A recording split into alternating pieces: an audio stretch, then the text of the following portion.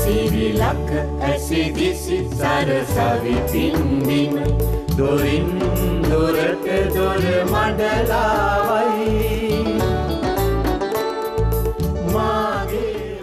අයිබෝන් දොරමඩලාව සංවාධාත්මක හරසරණී. ඔබේ දරුවාට ඔටිසම්ද. හඳුනා ගනිමු පිළියම් කරමු. ඒක තමා දොරමඩලාවේ මාතෘකාව. මා කැමති අපේ විද්වත් මණ්ඩලයේ මුලින්ම හඳුන්වා දෙන්න අපේ ආරාධනය දොරමඩලාව සංවාදාත්මක හරසරණීට සහභාගී වෙනවා. කැලණි විශ්වවිද්‍යාලයේ වෛද්‍ය පීඨයේ ළමා ආබාධ පිළිබඳ මහාචාර්ය සමන්මාලි සුමනසේන මහත්මිය අයිබෝවන් ගෞරවනීය දොරමඩලාවට පිළිගන්නවා. එතුමිය උතුරු කොළඹ ශික්ෂණ රෝහල සහ අයිති මධ්‍යස්ථානයේ ළමා රෝග විශේෂඥවරියක් හැටියටත් හඳුන්වා දෙන්න පුළුවන්. මේ මාතෘකාව ඔස්සේ කතා කිරීම සඳහා සාකල්යෙම සූසු කීර්තිමත් විශේෂඥ වෛද්‍යවරියක් හැටියට එතුමිය හඳුන්වා දෙන්න පුළුවන්. ඒ වගේම අපේ ආරාධනය දොරමඩලාව සංවාදාත්මක හරසානයට සහභාගී වෙන කරාපිටිය ශික්ෂණ රෝහලේ ළමා ස්නායු රෝග විශේෂඥ වෛද්‍ය ගැමුණු හේවාත්‍යාර මහත්මයා අයිබෝවන් ගෞරවනීය දොරමඩලාවට පිළිගන්නවා. ළමා ස්නායු රෝග විශේෂඥ වෛද්‍යවරයෙකුට ඔටිසම් ගැන කතා කරන්න බොහෝ කරුණු කාරණා තියෙනවා. ගෞරවනීය පිළිගන්නවා. ඒ වගේම අපේ ආරාධනෙන් දොරමඩලාව සංවාදාත්මක හරසාරණයට සහභාගී වෙනවා. කරාපිටිය ශික්ෂණ රෝහලේ ළමා සහ යෝන් මනස පිළිබඳ විශේෂඥ වෛද්‍ය දර්ශනී හෙට්ටිආරච්චි මහත්මයා අයිබෝවන් ගෞරවනීය දොරමඩලාවට පිළිගන්නවා දොරමඩලාව 아무තු තැනක් නෙවෙයි නේද? කලිනුත් සහභාගී වෙලා තියෙනවා. ඒ වගේම අපේ ආරාධනෙන් දොරමඩලාව සංවාදාත්මක හරසාරණයට සහභාගී වෙනවා. කැලණි විශ්වවිද්‍යාලයේ වෛද්‍ය පීඨයේ ජ්‍යෙෂ්ඨ කතිකාචාර්ය ආචාර්ය නිමිෂා මුත්තයියා මහත්මිය අයිබෝවන් ගෞරවනීය පිළිගන්නවා එතුමිය උතුරු කොළඹ ශික්ෂණ රෝහල සහ අයිති මධ්‍යස්ථානයේ කතනහා භාෂා විශේෂඥවරියක් හැටියට හඳුන්වා දෙන්න පුළුවන්. කතනහා භාෂා විශේෂඥවරියකට ඔටිසම් ගැන කතා කරන්න බොහෝ කරුණු කාරණා තියෙනවා. අමුතුවෙන් කියන්න දෙයක් නැහැ. අද දොරමඩලා විශේෂ වන්නේ කෙසේදැයි ඔබට දැන් හොඳටම පැහැදිලි මේ සහභාගී වෙන විද්වත් මණ්ඩලයෙන්ම තේරෙනවා මේක බලන්න ඕන වැඩසටහනක්ද නැද්ද කියලා. අප ආරාධනය කරනවා මේ ඔටිසම් කියන වචනේ මහාචාර්යතුමිය සමහරව පාවිච්චි කරන්න කැමති නැහැ. ඒක මම දන්නවා. නමුත් මේ වචනේ පාවිච්චි නොකළොත් අපේ පණිවිඩය යන්නේ මේක sannivedana ගැටලුවක් වෙනවා බලන්න ඕනෑම අය නොබලා ඉන්නත් ඉඩ තියෙනවා. ඒ නිසා මයිල්ලා හිටිනවා කෙනෙකුට එකෙන් අපහසුතාවයක් දැනෙනවා නම් ඔටිසම් වචනේ සමහර අම්මලා කැමති නෑ පාවිච්චි කරන්න වෙන වෙන වචන කියනවා. ඉතින් එයාගෙන්ට මම කනගාටුව පළ කරනවා මේක පාවිච්චි නොකර බෑ මේ සාකච්ඡාව ඵලදායී ලෙස කරගෙන යාම සඳහා. හොඳයි අපි කතා කරමු මේක එක්තරා විදිහක සමාජ සත්කාරයක් සමාජයට යහපතක් සැලසෙන මාතෘකාවක් අප මේ කතා කරන්නේ මුලින්ම අපි පැහැදිලි කරගන්න ඕනේ ඔටිසම් කියන වචනෙන් හැඳින්වෙන தත්ත්වය මොකද්ද? මොකද්ද මේ ඔටිසම්? ඔටිසම් ඔටිසම් ඔටිසම් කියනවා සමහරු දන්නේ නැහැ. සමහරට ගෙදර ඉන්නවා වෙන්න පුළුවන් දරුවෙක් එයාට ඔටිසම්ද කියලා අම්මා තාත්තා දන්නේ නැහැ. හඳුන ගන්නට මොකක් හරි ක්‍රමයක් තියෙන්න එපායි මහාචාර්යතුමනි. ඔටිසම් කියන වචනයට නිර්වචනයක් දෙන එක ටිකක් අමාරුයි. මොකද ඔටිසම් කියන්නේ ගොඩක් සංකීර්ණ තත්ත්වයක්. නමුත් අපි ඔටිසම් ඇතිවෙන හැටි ගැන හිතුවතින් ඕටිසම් ඇතිවෙන්නේ ළමෙක් උපත ලබන කොටම ඒ ළමයට ඕටිසම් තියනවද නැද්ද කියලා ඒ ළමයාගේ තීරණය වෙලා තමයි උපත ලබන්නේ. එතකොට ඒකට ඒක වැඩිදුරටත් ස්නායු පද්ධතිය තුළ වෙන හැටි වෛද්‍ය ගැමුණු විස්තර කරාවේ. නමුත් ඕටිසම් පිළිබඳ හැඳින්වීමක් කරනවා නම් ඒක මොලය සංවර්ධනය වීමේ තත්ත්වය සම්බන්ධයෙන් තියෙන ගැටලු මතුවෙන තත්ත්වයක්. එතනදී ගැටලු ප්‍රධාන අංශ දෙකක් මතුවෙනවා. එකක් තමයි ඒ වගේ දරුවන්ට සමාජශීලීව sannivedanaya කිරීමේ හැකියාවේ අපහසුකම් තියෙනවා. ඊට අමතරව ඒගොල්ලන්ගේ අපි දකිනවා නිතර නිතර සිදු කරන ඉතාමත් ඒකාකාරී හැසිරීම් රටා සහ ඉතාමත් ඍජු දැඩි හැසිරීම් රටා. එතකොට දැන් මෙහෙම කිව්වහම ඒක විද්‍යාත්මකව මම වචන භාවිතා කරේ ඉතින් එතකොට සමහරට සාමාන්‍යයෙන් අහගෙන ඉන්න කෙනෙකුට තේරෙන්නේ නැති වෙන්න පුළුවන්. එතකොට මේ සමාජශීලී කියන එක පෙන්වන්න ඇත්තටම මේ මම ස්ලයිඩ්ස් ටිකක් හදාගෙන ඇවිල්ලා තියෙනවා මට ඒක පෙන්වන්න පුළුවන් නම් හොඳයි බලමු. දරුවෙක් සමාජශීලී වෙනවා කියන්නේ උපත ලබපු එලේම තමයි. එතකොට උපත ලබපු එලේ ඉඳලා කුඩා කාලය තුල මාස 3ක් වගේ වෙනකොට දරුවෙක් හොඳටම hina වෙන්න පටන් ගන්නවා. ඒක තමයි පළවෙනි සමාජශීලී ක්‍රියාකාරීත්වය අපි දකින දරුවන්ගේ. ඊට පස්සේ ටිකක් ලොකු වුණාම හොඳ සංවාදයක් තියාගන්න පුළුවන් සමාජශීලීව අදහස් ප්‍රකාශ කළ දරුවෙකුට. ඒ වගේම ඒගොල්ලන්ට තියෙනවා ඉරියව් හැසිරීමේ ප්‍රශ්න මේ වගේ දරුවන්ට. නමුත් මේ පින්තූරවල පෙන්වුම් කරලා තියෙන්නේ සාමාන්‍යයෙන් දරුවෙක් මාස 5ක් 6ක් වෙනකොට වුණත් අම්මත් එක්ක හොඳට hina වෙවි එක එක මූණු හද හද ඒ විදිහට ඉරියව් වලින් sannivedanaya කරන්න උත්සාහ ගන්නවා. ඊට පස්සේ වැදගත්ම දේ තමයි මේ සමාජශීලී බවෙන් එන්නේ තව කෙනෙක් එක්ක සම්බන්ධයක් හටගන්න එක. එතකොට මේ වගේ දරුවන්ට මේ වගේ ගැටලු තියෙනවා. මේ පින්තූරවල පෙන්වන්නේ අම්මත් එක්ක තාත්තත් එක්ක යාළුවොත් එක්ක සම්බන්ධකම් දරුව පවත්වා ගන්න හැටි. ඉතින් මේ අංශ තුනේම ප්‍රශ්න තියෙනවා ඔටිසම් සහිත දරුවන්ට. ඊට අමතරව ඒගොල්ලන් ඒකාකාරී ක්‍රියාකාරකම් කරන්න පුළුවන්. ඒ කියන්නේ සෙල්ලම් බඩු පේලියට තියන්න පුළුවන් එකම වචන නැවත නැවත කියන්න පුළුවන් පොඩි දෙයක් හරි වෙනස් වුනහම ගොඩක් තරහ යන්න පුළුවන් ඒ වගේ ලක්ෂණ මේ දරුවන්ගේ පෙන්වුම් කරනවා. ඊට අමතරව ඒගොල්ලන් ශබ්දවලට එහෙම ගොඩක් බයයි. ඉතින් මේ වගේ දරුවෙක් හඳුන ගන්න නම් ළමා සංවර්ධනය පිළිබඳ හොඳින් හදාරපු විශේෂඥවරයෙක් මේ දරුවව හොඳින් පරීක්ෂා කරලා බලන්න ඕනේ මේ හැසිරීම් රටාවන් අර සාමාන්‍යයෙන් මම පෙන්න පින්තූරවලට වැඩිය වෙනස්කමක් තියනවාද කියලා. ලේසි නෑ. මේ පැහැදිලි කිරීම සමාජයේ ජීවත් වෙන බොහෝ දෙනෙකුට ඉතා වැදගත්. එක පිරිසක් තමයි ගෙවල් වල දරුවෝ ඉන්න අම්මා තාත්තලා. සමහරට මේක මේ කවුරුත් බය වෙන්න ඕන නෑ මේ බය කරන්න කරන වැඩසටහනක් නෙමෙයි. ගෙදර ඉතාම හොඳ නිරෝගී දරුවෙක් ඔබේ ගෙදර ඉන්නවා. හැබැයි ඉතින් දැනුම තියෙන එක හොඳා. මොකද මේ දරුවා කොහොම කෙනෙක්ද කියලා දැනගෙන අවධානමක් තියෙනවා නම් ඔබතුමියන් කියන විදිහට හඳුනා ගන්න පුළුවන් හඳුනාගත්තාම පිළියමක් කරන්න පුළුවන් මේ සුව කරගන්න පුළුවන් තත්ත්වයක්. බය කරන්න කරන වැඩක් නෙවෙයි. නේද හඳුනා ගැනීම ඉතා වැදගත් වෙනවා. පැහැදිලි කිරීමට ස්තුතියි. මා ඊළඟට යොමු වන්නේ විශේෂඥ වෛද්‍ය ගැමුණු හේවාවිතාර මහත්මයාට. මේක තව ටිකක් අපි පැහැදිලි කරන්න ඕනේ වෛද්‍ය විද්‍යාත්මකව. ඔටිසම් කියන්නේ මොකද්ද? මේ தත්ත්වය මොකද්ද? මේක මොන වගේ හේතු? අර මොලෙත් අරන් ඇවිල්ලා ඉන්නේ නේද? මේ ඉස්සරහ මොලේ තියාගෙන කතා කරන්නේ වෛද්‍යතුමා. ඔබතුමාට ඇති පිළිතුරක්. ප්‍රථමයෙන් තරම ස්වාධීන රූපවාහිනියට මගේ ස්තුතිය පිරිනමනවා. අද දින දොර මඩලා වැඩසටහන ඕටිසම් දරුවන් සඳහා වෙන් කිරීම සම්බන්ධය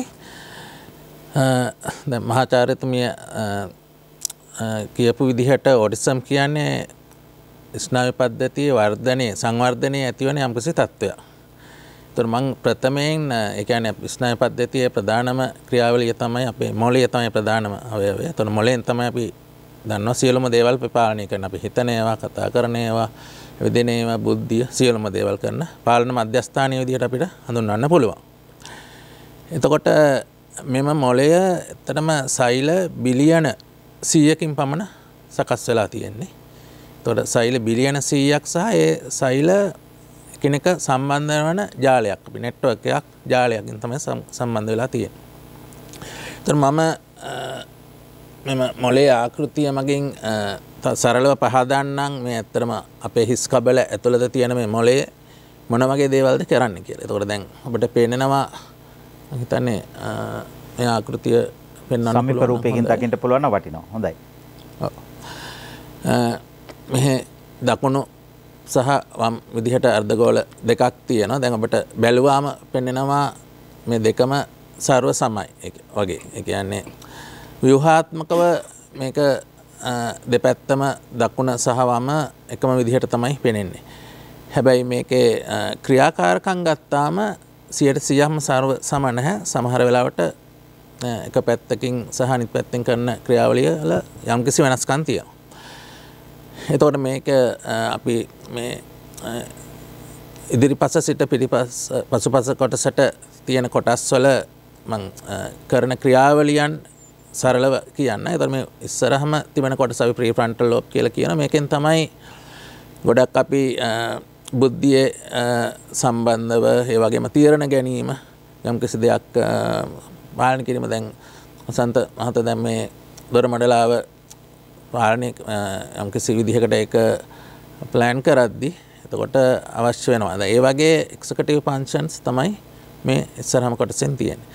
අනිත් එක අපි දැන් දන්න අපි පරිනාමය වෙද්දි සත්වයන්ගෙන් මිනිස්සුන්ගේ මනුෂ්‍යයන්ගේ මෙම කොටස ගොඩක් දියුණු අනිත් සත්‍යයන්ට වඩා. එතකොට මෙම තැම්බිලි පාට කොටසෙන් පෙන්න්න පුළුවන්. තිබෙන කොටසෙන් තමයි අපේ චර්ය චාලන දේවල එකැන අප ඇවිදීම දිවීම අතපයි හැසරවීම ඒ වගේ දේවල් කරන කොටස තමයි මෙම කොටස. මෙම නිල්පාට කොටස මෙම කොටසෙන් තමයි අපිට දැනෙන්නේ. ගැන අපිට යම්කසි අපි හිත වනතුරක් වුණ එතකොට අපිට වේදනාවත් දැනුණ තොට ඒවා දැනෙන්නේ මෙම කොටසේ. මේ මොලේ පිටි පස තිබෙන මෙම කොටසෙන් තමයි අපිට පෙනීම ලබා දෙන්නේ. තොට පෙනීම කියන්න අපිට යම්කිසි රූපයක් පෙනීම රූපයේ චලනය ඒ වගේවට අදාළ කොටස තමයි මෙම කොටසෙන් තිබෙන. එතකොට මෙම කොටසෙන් තමයි අපේ ශ්‍රවණය සහ කතාවට අදාළ කොටස් තියෙන්නේ කොටස් කිහිපයක් තියෙනවා අපිට ඇසීම ඒ වගේම අපි වචන උච්චාරණය කිරීම සහයවා පාලනය කිරීම එම කොටස්තයි මේ කොටසෙන් තිබෙන. තොර මේ මොලේ මෙම කොටස අපි කෙන ටෙම්පෝර ලෝප් කියලා. තොට මෙම කොටස තමයි අපේ චර්යාත්මක හැඟීම්. ඒ පානීම විශේෂෙන් මෙතන ඇතුල් පැත්තේ ඔබට පේන ඇති මේ කොටස අපි කියනවා ඇමික්ඩලා කියලා. එම කොටසෙන් තමයි අපේ ආවේග ඉමෝෂන්ස් ආවේග සහ හැසිරීන් ඒවට අදාල තොට මේ ඔටිසම් දරුවන්ගේ සම්බන්ධයෙන් කටා කරද්දි මෙම කොටස ගොඩක් අපිට වැදගත්වෙනවා ඉදිරිය දෙක පවත් කියන්න එතන මොලේ මේ පිටිපස කොටස අපි කුඩා මොලය ඒ අපිට චලන සහ බැලන්ස් එක නැත්තං සමතුලිතතාවය වගේ පවත්තා ගැනීමට වැදගත්වෙනවා එතකොට මේ මොලේ කඳ කොටස එක ඇත්තනම් ප්‍රාථකම කොටස. සමහර ක්‍රියාවලියන් අපි සිදුව කරනවා. අපිට දැනන්න උදාහරණයක් දැන් අපි මේ අවස්ථාව කතාගත අපිට දැනෙන අප හුස්ම ගන්න.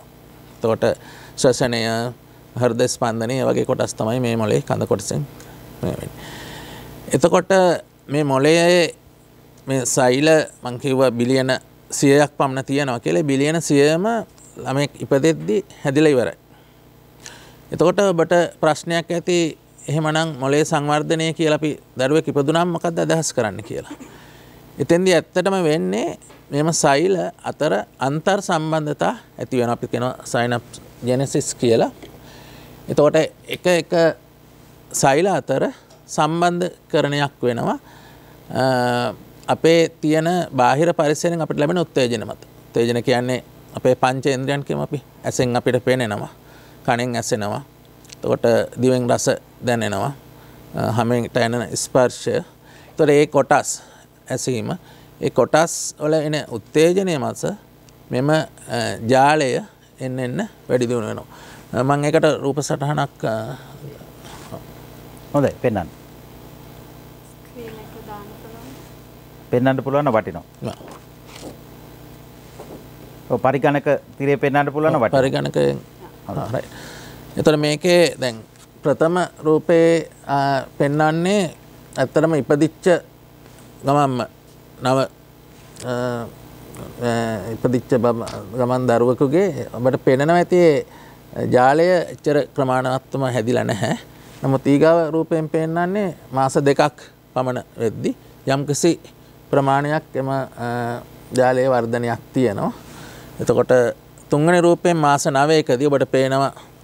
දොරට කළුපාටට පෙන්නුම් කරන්නේ අන්තර් සම්බන්ධතා ඇතිවීම. තොර අවුරුදු දෙකේදී එක අපි ගොඩක් පෙනෙනවා. ට පස්සේ වැඩි හිටියගේ තම අන්තිම වසයෙන් පේන තොරට මෙතනින් පෙනෙන අවුරුදු දෙකයි වැඩි හිටියගේ අතරේ ලොකු වෙනසක් නෑ එක මං අදහස් කරන්නේ මොලේ මේ වර්ධනය සංවර්ධනය ඇත්තම අවුරුදු දෙකක් වෙද්දි ලොකු ප්‍රමාණයක් සිත්ත වෙනවා. ඇත්තරම සියයට අනුවක් මොලේ වර්ධනය අවුරුදු පහක් වෙද්දි සිදි වෙලා ඉවරයි. එතොර ඒක අපිට ගොඩක් වැදගත්වන ඉදිරියට අපේ කතිකාවත ගෙනියන්න මේ ඉදිරිය කලින් මේක හඳුනා ගැනීමේ ක්‍රියාවලිය. එතොට ඊගාවට මම පෙන්නන්නම් වීඩියෝ එකක්. එක චාට කරන්න පුළුවන් තොර ඒකෙත් ඔබට පෙනෙනවා මෙම මම කලින් කතා කරපු විදිහට මොලේ සංවර්ධනය වෙද්දී කොහොමද මෙම අන්තර් සම්බන්ධතා ඇතිවෙන්නේ එකනෙක ඒ සයිල අතර අන්තර් සම්බන්ධතා ඇතිවෙන්නේ කෙසේද කියලා. එතකොට මෙම ජාලය එන්න එන්න දියුණුවීම තමයි අපි කියන්නේ මොලේ සංවර්ධනය කියලා. එතකොට අපේ ඇත්තටම ජාන ඔලින් මෙම හැම සෛලයක්කම තියෙන යම්කිසි සැලැස්මක් ඒ සැලැස්ම අනුව තමයි මෙම සංවර්ධන ක්‍රියාවලිය සිදුවෙන්. එතොට ඒ සිදුවීමේදී වැදගත්වෙනවා බාහිර පරිසරෙන් ගැන මං කලින් සඳහන් කරපු විදිහට එන උත්තේජන. එතකොට ඊගාට මන් සඳහන් කරන්නම් ඕටිසම් දරුවෙකුගේ ඇතිවන වෙනස්කම මොකක්ද තොර ඕටිසම් දරුවන්ගෙන වෙන්නේ මෙම හැදෙන ජාලය අසාමාන්‍ය විදිහට තමයි ඒක මේ කනෙක්ට වෙන්න. තොට ඒක නෙක්ස්ටයිට් තෝට මෙම රූප සටහනය ඔබට පේනනවා. දැන් පළවෙනි රූප සටහනේ අපට සාමාන්‍ය දරුවකුගේ මොලේ සෑදීම. දැන් ඒ බීට සහ බීසීට අපි කියම සයිල තුනක් සම්බන්ධ වෙන ආකාරය. නමුත් ඕටිසම් දරුවෙකුගේ මොලේ සම්බන්ධ වෙන ආකාරය තමයි දෙවන් රූප සටහනය පෙන්න්නන්නේ තැන්දී ඔබට පෙනෙනවා අසාමාන්‍ය සම්බන්ධතා තියෙනවා. එතකොට ඒක තමයි ඇත්තරව මේ ඕටිසම් වල වෙන සංසිද්ධිය. එතොට මේක එක ක්‍රමයක් විතර ඇත්තම ඕටිසම් සම්බන්ධව මොලේ වෙන දේවල් සියල්ලම තාම සොයාගෙන නැහැ. නමුත් දැන්ට පරීක්ෂණ මට්ටමෙන් සොයාගත්ත දත්ත තමයි මං පැහැදුලි. එතොට මේ අසාමාන්‍ය සම්බන්ධතා තිවෙන නිසා දැන් අපට දෙවනි රූපයත් මම තවරූප සටහනක් පෙන්න්නම් පරිගණකින්. ඔබට පෙනෙනවා දැ පළවැනි රූප සටහනෙන් පෙනෙන්නේ සාමාන්‍ය දරුවක මොලේ තියෙන ජාලය. දෙවනි සටහනෙන් පෙන්න්නන්නේ ඕටිසම් දරුවක එතකොට පෙනෙනවා එම ජාලවල ගොඩක් පාත්වස් හැදිල තියෙන අසාමාන්‍ය විදිහට එතකොට අදාළ තැන්නෙමයි සම්බන්ධී කරණය වෙන්න. එතොට ඊගාවට මොකක්ද මේකින් වෙන්නේ. එතකොට ඒක නිසා මේ දරුවට පෙනෙන දේ අපිට මේ පෙනෙන ලෝක නෙමේ පේන්නේ. එතකොට අපිට ඇසෙන විදිහ නෙමේ ඇසෙන්නේ. අපිට දැනෙන විදිහ නෙමෙයි දැනෙන්නේ. එතකොට ඒක නිසා එයාලගේ සමස්තයක් වසෙන් යාලා වෙනම ලෝකක තමයි ජීවත්තේ. එතකොට දැන් අපට ඒගවරූප සටහනෙන් පෙනෙනවා මම මේක ඇත්තරම අන්තර්ජාලයෙන් ගත්ත දැනම කිරීමට ගත්ත එක ඉතිස්සල්ල. රෝටිසම් දරුවෙක් ගත්තොත් එයාට ලෝකෙ පේන්නේ මේ වගේ. තව රූප සටනම්මන් පෙන්න්න ඒකාක මේකෙත් අපට පෙනෙනවා ඔස්සේ තව එකක් එතකොට මේක තමයි ඇති වෙන්නේ. හැබැයි මම මෙහෙම කිව්වට සෑම දරුවෙකුගේ මේ වගේ නෙමෙයි. මේකත් හරි වෙනස්. එතකොට ඕටිසම් දරුවන් දහ දෙනෙක් ගත්තොත් ඒ දහ දෙනා සමාන නැහැ සමහරුන්ගේ ඇසීම සම්බන්ධයෙන් වැඩිපුර ප්‍රශ්න තියෙන්න පුළුවන්. සමහරුන්ගේ දැනීම සම්බන්ධයෙන් වෙන්න පුළුවන්. එතකොට ඒක ටිකක් සංකීර්ණයි. එතකොට ඔටිසම් අපි සාමාන්‍යයෙන් පෙර පාසලක දරුවන් දස දෙනෙක් ගත්තොත් ඒ දස දෙනා එකනෙකට වෙනස් තමයි. නමුත් පෙර පාසල් ගුරුවරයට ඒ දස දෙනාට අපිට ගැනීම කටයුතු කරන්න පුළුවන්කම විදිහට නමුත් ඕටිසම් දරුවන් දස දෙනෙක් ගත්තොත් ඒ දස දෙනාගේ විවිධත්වය ගොඩක්ම වෙනස්. තෝට මේ මම සරලව ප්‍රකාශ කෙරුවේ මොකක්ද මේක වෙන්න කියලා. එතකොට තව ප්‍රශ්නයක් තියෙන ඇයි මේ දරුවට ඕටිසම් ඇති වනේ? තොර දෙමපියක් ඇත ඇයි? මොකක් නිසාද? කොතනද වරද තියෙන්නේ. ඇත්තටම ඒකටත් සාධක තාම සියට සීයක්ම සොයාගෙන නැහැ. නමුත් දැන්ට තියෙන විදිහට ජානමය සම්බන්ධතා ගැන ජාන ඔලින් ඇතිවෙන මං ඉස්සල කලින් කිව්ව වගේ අපේ මොලේ සැම සයිලයකම තියෙන ජානොලින් හැදෙන සැකස්මගේ සෙලස්මෙන් තම යන්නේ සෙලස්මේ ඇතිවෙන විකෘතිතා මත මේක වෙනස් වෙන්න පුළුව. එකට උදාහරණයක් කියනවන දැන් ගැහනු ළමයි සහ පිරිමි ළමයි ගත්තත් පිරිමි ළම දරුවන්සගේ ඔටි සන්තත්වය ගොඩක් වැඩි සමට හතර ගුණයක් පස් ගුණයක් වගේ වැඩි. එතකොට එකම පවුලේ දරුවන් ගත්තොත් තොට එකම පඩුව ඕටිසම් දරුවකගේ දරුවෙක් ඉදිරවනම් තවත් දරුවෙක් ඕටිසමීමේ සම්භාවිතාවය වැඩි. එක එකක්. ඊට අමතරව මං කලින්කිව වගේ බාහිර පරිසරගෙන උත්තේජන ලැබීමේ ක්‍රියාවලියත් යම්කිසි විදිකට ඕටිසම් සෑදීමට නැමුරුතාවයක් තිබෙන දරුවෙක් ඉන්නවන බාහිර පරිසරගෙන උත්තේජන මතත් මේක වෙනස් වෙන්න පුළුවන්. ඊට අමතර මොලේ වර්ධනය ප්‍රශ්න නිසත් වෙන්න පුළුවන් ඒ වගේ සාධක ගොඩක් බලපාන. හොඳ ඔබතුමා ජානමය හේතු පිළිබඳව සඳහන් කරද්දී මට මතක් වුණා මීට පෙර අපි ජාන විද්‍යාවේ රහස් කියලා දොරමඩලා වැඩසටහන් කීපයක් විකාශය කළා. මේ වැඩසටහන් කීපයකට සහභාගී වුණ ඇමරික එක්සත් ජනපදයේ හූස්ටන් විශ්වවිද්‍යාලයේ මහාචාර්ය ප්‍රීති ගුණරත්න මහත්මිය. එතුමිය මේ රට බිහි කළ විශිෂ්ටතම විද්වත් කාන්තාවක්. මානව ජාන පද්ධතිය සම්පූර්ණයෙන් අනාවරණය කරගන්න මණ්ඩලයේ හිටපු එකම ශ්‍රී ලාංකීය නියෝජනය සම්පූර්ණ මේ හියුමන් ජීනෝම් එක හොයාගත්ත අනාවරණ මණ්ඩලයේ සමාජිකාවක් මේ ඔබතුමිය වාඩි වෙලා ඉන්න පුටුවේ වාඩි වුණා. එදා ওই ප්‍රශ්නේ කතා කළා. මේ ඥාන සංස්කරණය කරලා ඥාන එහෙ මෙහෙ කරලා මේ ඔටිසම් දරුවන්ට ප්‍රතිකාර කිරීම පිළිබඳ රූප සටහන් කීපයක් පෙන්නවා. මට දැන් පෙන්වන්න තිබුණා වටිනවා ඔබතුමා දැන් මතු කරපු කාරණාවත් එක මතක් කළා. ඉතින් මේකට ලෝකෙ විවිධාකාරයේ විසඳුම් හොයාගෙන ඉන්නවා. අම්මලා තාත්තලාට මේ ලොකුවට බය වෙන්න කාරණාවක් නෙවෙයි කියන එක. විවිධ විදිහට අමාරුම දේවල් වලටත් පිළියම් හොයමින් ඉන්නවා. ඉඳා කවුරුත් මේ බය කරන්න නෙමෙයි මාතෘකාව තෝරගෙන ඉන්නේ. මේ වැඩසටහන බලන්න ඕනේ දෙපිරිසක්. එකක් තමයි එක පිරිසක් තමයි ඔටිසම්යයි හඳුනාගත් දරුවන් ඉන්න අම්මලා තාත්තලා. ඒකට යම් සහනදායී පිළිතුරක් මේ දොරමඩලා ලැබේ. අනෙක් පිරිස එහෙම හඳුනාගත්තේ නැති නිරෝගී දරුවන් යයි හිතාගෙන ඉන්න දරුවෝ ඉන්න අම්මලා තාත්තලා. ඒ බැලුවට වරදක් නැහැ. මොකක් හරි ප්‍රශ්නයක් තියෙනවා අඳුර ගන්න ඕන ඉඟි ටික ලැබෙනවා සාධක ටික ලැබෙනවා. ඉතින් කාටත් මේක වැදගත් බලායින්ට මට අවසෙන් පාලක මැදට යන්න පණිවිඩ කීපයක් සඳහා ඉන් පස්සේ අපි ආයෙත් කතා කරමු.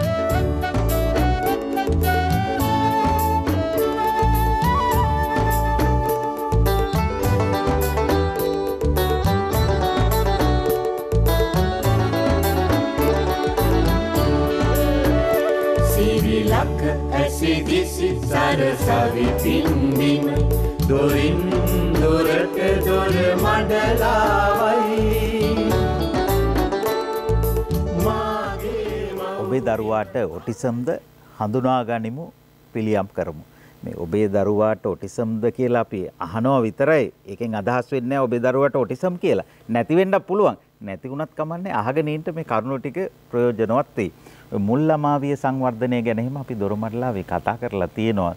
අද සමාජයේ තියෙන සමහර ප්‍රශ්න වලටත් මුල සමහර වැඩිහිටියන්ගේ මුල් ළමාවිය සංවර්ධනයේ නොවීමද කියලා ප්‍රශ්නයක් තියෙනවා. සමහර තැන්වල වෛද්‍යතුමා හරියට ඒ ටික වුණා නම් මේ ලොකු අයට මෙච්චර ප්‍රශ්න නැහැ නේද කියලා හිතර සිදුවීම් තියෙනවා. මම මේකට සම්බන්ධ කරන්නේ මේ ළමා සහ යෝන් මනස පිළිබඳ විශේෂඥ වෛද්‍යවරියකට ඔටිසම් ගැන කියන්න තියෙන මොනවද කියලා අපි දැනගන්න ඕන. විශේෂයෙන් මේ චර්යාමය සහ මානසික වෙනස්කම් මොනවද? දැන් අහගෙන ඉන්න අම්මා කෙනෙක් ඉන්නවා නම් දැන් මේ වැඩසටහන බලාගෙන පොඩ්ඩක් දැන් බලනවත් ඇති සැකෙන්. අරක වුණා මේක වුණා මෙයා මෙහෙම කිව්වා මෙයාට මෙහෙමත් දන්නේ නැහැ. අපේ එක්කිනාට මෙහෙමත් දන්නේ නැහැ කියලා හිතෙනවා ඇති. එහෙම හිතුවත් වරදක් නැහැ. දරුවාගේ හොඳටනේ. විශේෂත් වෛද්‍යතුමනි. ප්‍රඥා මෙහෙමයි. දැන් මහාචාර්යතුමිය පැහැදිලි කරා මොනවද මේකේ තියෙන ලක්ෂණ කියන එක. ඊට පස්සේ විශේෂඥ වෛද්‍ය ගැමුණු මහත්මයා පැහැදිලි කරා මේකේ ස්නායුමය පැත්ත ගැන. ඉතින් දැන් ඔබතුමා කිව්වා වගේ අද වැඩසටහන විශේෂයෙන් ආරම්භන කොටස් දෙකක් ඉන්නවා. එකක් තමයි ඇත්තටම මේ தત્ත්වයේ තියෙන දරුවන්ගේ දෙමව්පියෝ. ඒ කියන්නේ මේ தත්ත්වය දියුණු කරගන්න මොනවද කරන්න ඕන කියන தත්ත්වය ගැන කතා කරන කොටස. අනිත් කට්ටිය තමයි ඇත්තටම මගේ දරුවට මේ තත්ත්වයේ ලක්ෂණ තියෙනවා දෝ කියන පුංචි බයක් එක්ක මේ වැඩසටහන නරඹන කට්ටිය. එහෙම නැත්නම් එහෙම කිසිම බයක් නැතුව නරඹනවා. නමුත් වැඩසටහනෙන් අලුත් දෙයක් ඉගෙන ගන්න උත්සාහ කරන කට්ටිය. ඉතින් මම පොඩ්ඩක් පැහැදිලි කරන්නම්. ගෙදර අම්මෙක්ට තාත්තෙක්ට වැඩිහිටියෙක්ට දැන් චර්යාමය වශයෙන් මේ දරුවගේ තියෙන වෙනස්කම් මොනවද කොහොමද නිවසේදීම මේ තියෙන වෙනස්කම් හඳුනගන්නේ කියලා. ඉතින් පළවෙනිම එක තමයි මේ සමාජ සම්බන්ධතා සහ සමාජ sannivedanaye ගැටලු වලදී මේ දරුවෝ අනිත් දරුවෝ වගේ ඇස් දෙක දිහා බලන්නේ නැහැ. දැන් ඕනම පුද්ගල සම්බන්ධතාවයකට ඊටාම වැදගත් වෙන දේ තමයි හසන්ත මහත්මයා ඇස් දෙක දිහා බැලි. දැන් මම ඔබතුමාගේ ඇස් දෙක දිහා බලන නිසා ඔබතුමා දන්න මම ඔබතුමාට තමයි කතා කරන්නේ. දැන් මම මෙහෙම අහක බලාගෙන කතා කරොත් මම ඔබතුමාට නෙවෙයි කතා කරන්නේ. ඉතින් එතකොට ඕනම පුද්ගල සම්බන්ධතාවයක් හොඳින් පවත්වා ගන්න ඇස් දෙක දිහා බැලීම ඉතාම වැදගත්.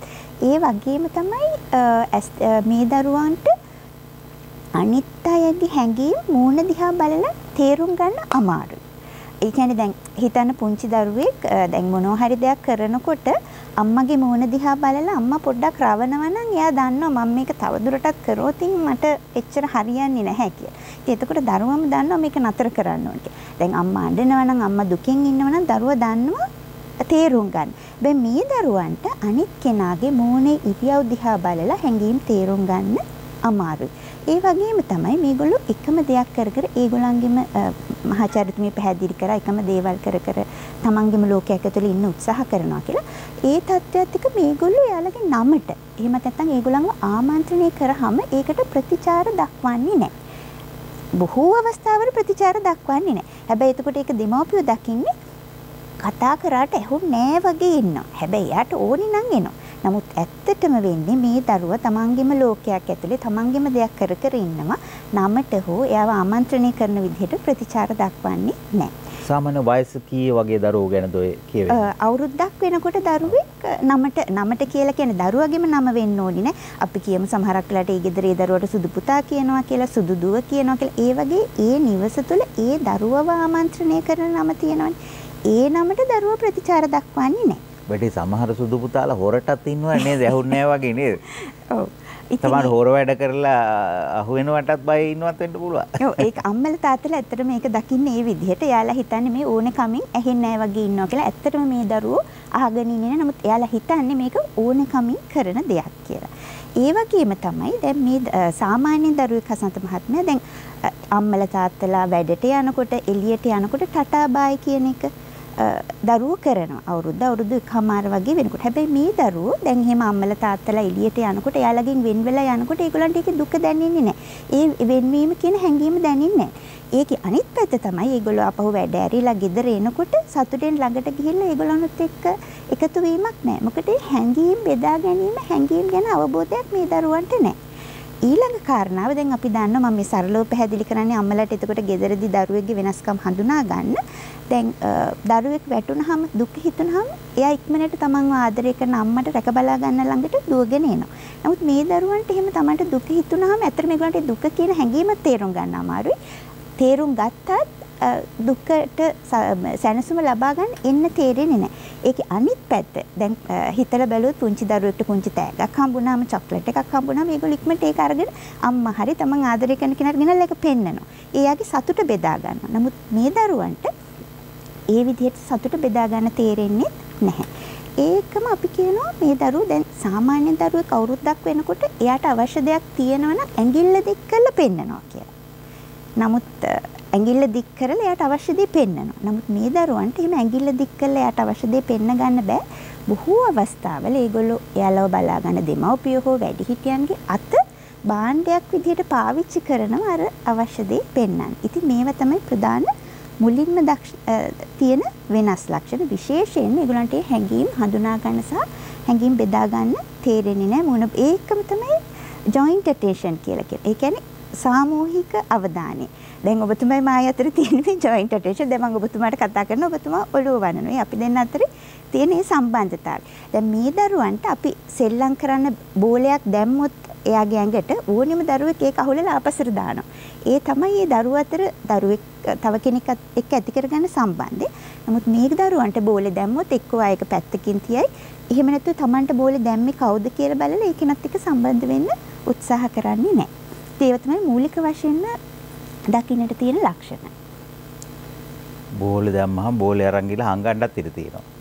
ඉතින් බෝල දාන අය නම් ඉන්න බෝල පාස් කරනවා කියලා කියන එක වැඩි හිටියක් තියෙනවා. පොඩි කාලේ ඉඳලා පුරුදු වෙන වැඩක් නේද බෝල පාස් කරන වැඩේ. කොහොම හරි මේ හරි වැදගත්. බහ තෝරනවයි කියලානේ අපි කියන්නේ. චූටි දරුවෝ බහ තෝරනවා. බහ තෝරනවා කියලා අපි කිව්වට ලෝකේ වාර්තා වෙලා තියෙනවා ටික අසාමාන්‍ය වැඩ කරන චූටි පුතාලා දුවලා ඒගොල්ලෝ නිකන් එකපාරට කතා කරන්න පටන් ගන්න ලොකු ලොකු දේවල් කිව්වායි කියලා සමහරු දැක්ක අයත් ඉන්නවා නොදැක්ක අයත් ඉන්නවා. විවිධ දේවල් මාධ්‍ය ටිකක් වැඩිපුර දාන ඒවත් තියෙනවා බොරුත් යනවා. ඇත්ත දේවලුත් තියෙනවා. ඉතින් මේක වෙනම කතාව අසාමාන්‍ය දරුවෝ. මේ කතා කරන්න බැරි වයසේ මෙන්න කතා කරලා සමහර එහෙම දේවලුත් වාර්තා වෙනවා. මොනවා හරි ඉතින් කියා ගන්න පුළුවන්කම තියෙන්න බෑ. නේද? අතින් පයින් හරි මූණෙන් හරි hinaවෙන් හරි අඬලා හරි බැරි තැන අඬලා හරි මොකක් හරි කියන්න උත්සාහ කරනවනේ. මේ sannivedana අවශ්‍යතාව මේකේ තියෙන ගැටලුත් එක්ක අපි ඔටිසම් ගැන කතා කරන්න ඕනේ ආචාර්ය නිමිෂා මුත්තయ్య මහත්මියට ඇති මේ ගැන පැහැදිලි කිරීම. ඔව් දැන් ඇත්තටම අපි කියනවා නම් sannivedanaya කියන දේ කතනය සහ භාෂාව සහ සමාජශීලීතාවය ඇත්තටම වෙන් කරන්න බැරි දෙයක්. ඒ දෙකම එකට යන්න ඕන දෙයක්. ඉතින් අපි විශේෂයෙන් දන්න ඔටිසම් තත්ත්වයක් තියෙන දරුවන්ගේ මේ සමාජශීලීතාවයේ අඩුවීමක් තියෙනවා. ඩොක්ටර් දර්ශන පැහැදිලි කරා වගේ. එතකොට අනිවාර්යෙන් ඒගොල්ලන්ගේ කතනය සහ භාෂාවෙත් බලපෑමක් තියෙන්නම ඕනේ. ඉතින් ඔටිසම් තියෙන එක දරුව කාණ්ඩයක් ඉන්නවා ඒගොල්ලන්ගේ කතාවේ ප්‍රමාදයක් තියෙනවා. ඉතින් ඒ ප්‍රමාදය සමග ඒගොල්ලන් සමහරක් කලාවට අනිත් අයක එකතු වෙලා කතා කිරීමේ සංවේදනය කිරීමේ හැකියාවක් එතන බොහොම අඩුයි. ආචාර්යතුමා ප්‍රමාදය කියලා කියන්නේ සමහර අම්මලට බයක් තියෙනවද අල්ලපු ගෙදර මේ වයසේම ළමයා කතා කරනවා අපේ කෙනා තාම නෑනේ. මේ තාම නෑ මෙයා කතා කරන්නේ නෑ කීකිත වෙන වෙන නොඑක ආකාරයේ පිළිහෙර. ඒ தත්ත්වය ගැනද ඔබතුමිය මේ කියන්නේ? ඒ එතනත් ඒ තත්ත්වයට එතන අදාළ වෙනවා. ඒත් ඔටිසම් කියන දේ ඇත්තටම අපි මෙච්චර වෙලා කතා කරා වගේ ඉතාමත්ම සංකීර්ණයි. තවත් කාණ්ඩයක් ඉන්නවා දරුවෝ ඒගොල්ලෝ ඇත්තටම කතා කරනවා. දැන් දෙමාපියෝ ඇවිල්ලා අපිට කියනවා මගේ දරුවා කතා කරනවා. ඉතින් මම අහුවාම අම මොන වගේ දේවල්ද බබා කියන්නේ? එතකොට එයා කියනවා ඇල්ෆබට් එක කියන. ඒ කියන්නේ හෝඩිය අකුරු ඔක්කොම කියන්න පුළුවන්. නොම්බර ඔක්කොම කියන්න පුළුවන්. ඒත් ඇත්තටම ඒක සමාජශීලී වෙලා sannivedanayak කියලා අපිට සලකන්න බෑ. ඒක අපි communication කියලා සලකන්නේ නැහැ. අපි සාමාන්‍යයෙන් sannivedanaya කියලා කියන්නේ එකට මෙහෙම සමාජශීලී වෙලා කෙනෙක් දිහා බලලා යම්කිසි දෙයක් බලාගෙන යම්කිසි භාණ්ඩයක් දිහා බලලා ඒ දේ ගැන කතා කරන එක තමයි අපි sannivedanaya කියලා එතන සලකන්නේ. ඉතින් අර ඇල්ෆබට් එක කිව්වත් නම්බර කිව්වත් ඒක sannivedana නැත්නම් communication කියලා ඇත්තටම සලකන්න අමාරුයි. අනිත් එක අම්මලා ගොඩක් කියනවා දැන් පොතක් එහෙම බබාට පෙන්වුවහම එයා පොතේ තියෙන ඔක්කොම ගැන කතා කරනවා. ඇපල් එකක් ගැනද තියෙන ඒකේ ඔක්කොම දේවල් ගැන කතා කරනවා. ඒත් um, නම් කරනවා. මේක ඇපල් එක මේක කාර් එක ඔක්කොම එයා නම් කියාගෙන යනවා. ඒත් එදිනෙදා ජීවිතයේදී ඇත්තටම කාර් එකක් දැක්කොත් නැත්නම් ඇපල් එකක් දැක්කොත් ඒක අම්මිට කියලා ඉල්ලන්නේ නැහැ. මට ඇපල් එක දෙන්න මට කාර් එක දෙන්න කියලා එතන ඉල්ලන්නේ නැහැ. ඉතින් එතන අපිට sannivedanaye අඩුපාඩුවක් ඇත්තටම දකින්න පුළුවන් මේ ඔටිසම් තියෙන දරුවන්ගේ. හරි වටිනවා. මං හිතන්නේ මේ දැනුම සියුම් මාතෘකාවක්. එක මුලින්ම කියන්න ඕන ඉතා සියුම් දේවල් තියෙන සියුම්ම අහගෙන ඉන්නවනේ සියුම්ම නිරීක්ෂණය කරන්නටත් ඕන. කලබලේ දඩ බඩ ගාලා දුවන ගමන් නම් ඔටිසම්ද කියලා හොයන්න බෑ.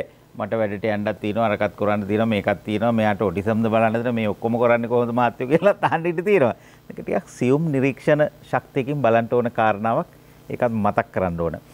ඉතින් අපි මේ ටික මේ ලක්ෂණ තියෙනවද කියලා හඳුනගෙන මොකද්ද කරන්නේ මාචාර්යතුමා මම මේ වටේ පටන් ගන්නකොට පොඩ්ඩක් මතක් කරන්න ඕනේ මේ ආචාර්යතුමා අපි මේ අද මේ ITN එකට ඇවිල්ලා කතා කරන්නේ අපේ ශ්‍රී ලංකා ළමා සංවර්ධන සංගමය තමයි අපි සියලු දෙනාම නියෝජනය කරන්නේ සහ මේක CDB ආයතනයෙන් අපි වෙනුවෙන් කරන සමාජ සත්කාරයක් කියලා ඒක අපිට මුලදී කියන්න අමතක වුණා එකයි.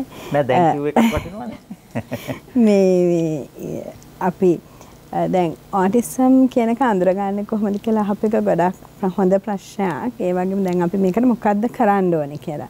ඉතින් දැන් අපි මෙච්චර මේ වටයක්ම කතා කරනකොට ડોක්ටර් ගැමනු කිව්වා අපේ මොලේ අවුරුදු දෙක වෙනකොට ළමයිගේ 90%ක්ම හැදිලා ඉවරයි කියලා. එතකොට මම ළමා සංවර්ධනය පිළිබඳ ගොඩක් වැඩිදුර හදාරපු ડોක්ටර් කෙනෙක් හැටියට කියන්න ඕනේ පළවෙනිම පණිවිඩය තමයි දෙමාපියන්ට මේ ළමයිව පුළුවන් තරම් ඉක්මනටම මෙතනට මේ ප්‍රශ්නයක් තියෙනවා කියලා හඳුනාගෙන අවශ්‍ය මැදිහත් වීම සඳහා කරුණාකරලා අරගෙන එන්න.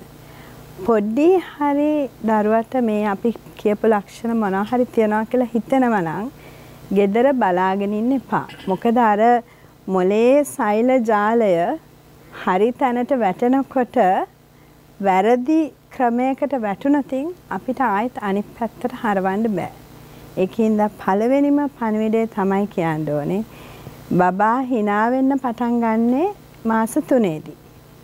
ඒ මාස 3 වෙනකොට මාස 2 වෙනකොට ඕනම බබෙක් hina වෙන පටන් ගන්නවා. නමුත් මාස 3 වෙනකොට අනිවාර්යෙන් අම්මත් එක්ක බබා hina වෙනවා ප්‍රතිචාරාත්මකව.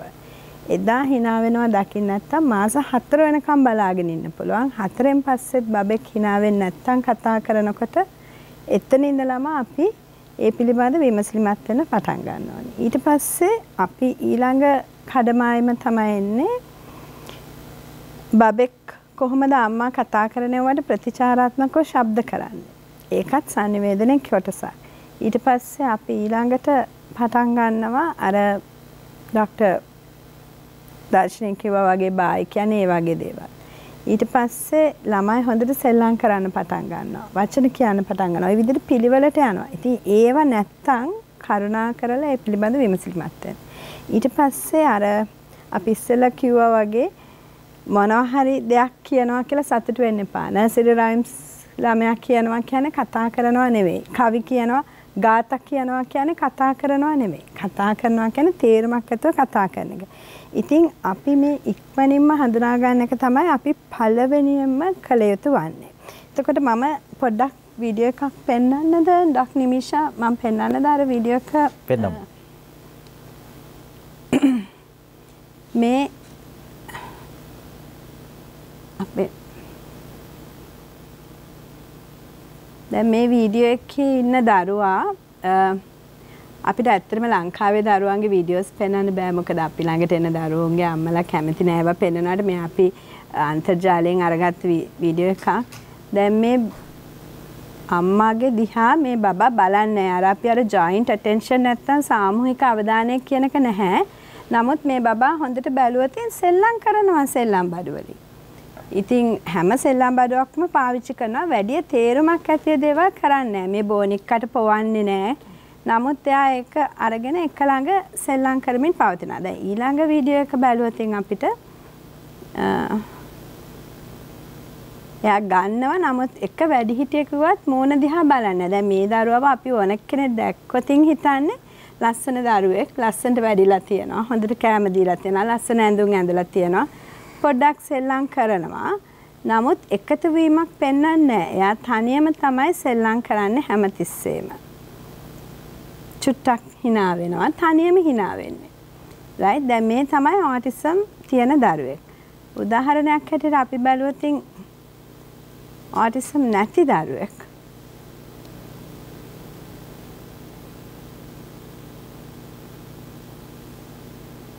එයා හැමතිස්සෙම ඔළුව හොලවලා සෙල්ලම් බඩුව දිහා බලනවා අම්මා දිහා බලනවා hina වෙනවා සෙල්ලම් බඩුව අම්මත් එක්ක ෂෙයා කරනවා. දැන් මේ ටික ගැන තමයි අපි මෙච්චර වෙලා කතා කරේ. මට හිතෙනවා ඒක ප්‍රේක්ෂකයන්ට උදව් වෙයි කියලා පොඩක් මේ වගේ දරුවෝ ඉන්නවා නම් ගෙදර හඳුන ගන්න. මම තව එක වීඩියෝ එකක් පෙන්වන්නම් දක්නිමිෂ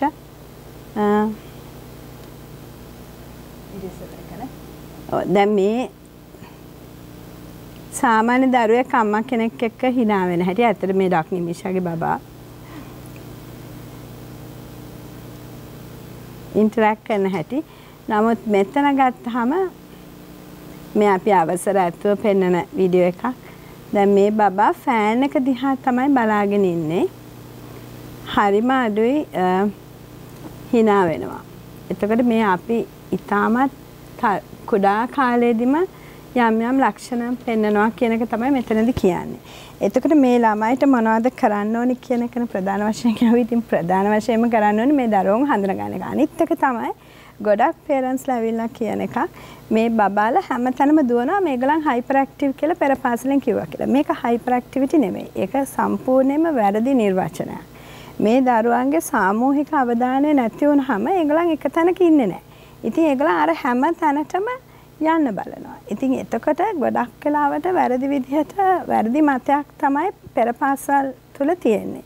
ඉතින් මේ ළමයිට අපිට කරන්න තියෙන ලොකුම දේ තමයි මේ ලක්ෂණ දැක්කතින් ළඟම තියෙන ළමා විශේෂඥ හෝ ළමා යෝන් හා මානසික විශේෂඥ සායනයකට යොමු වෙන එක.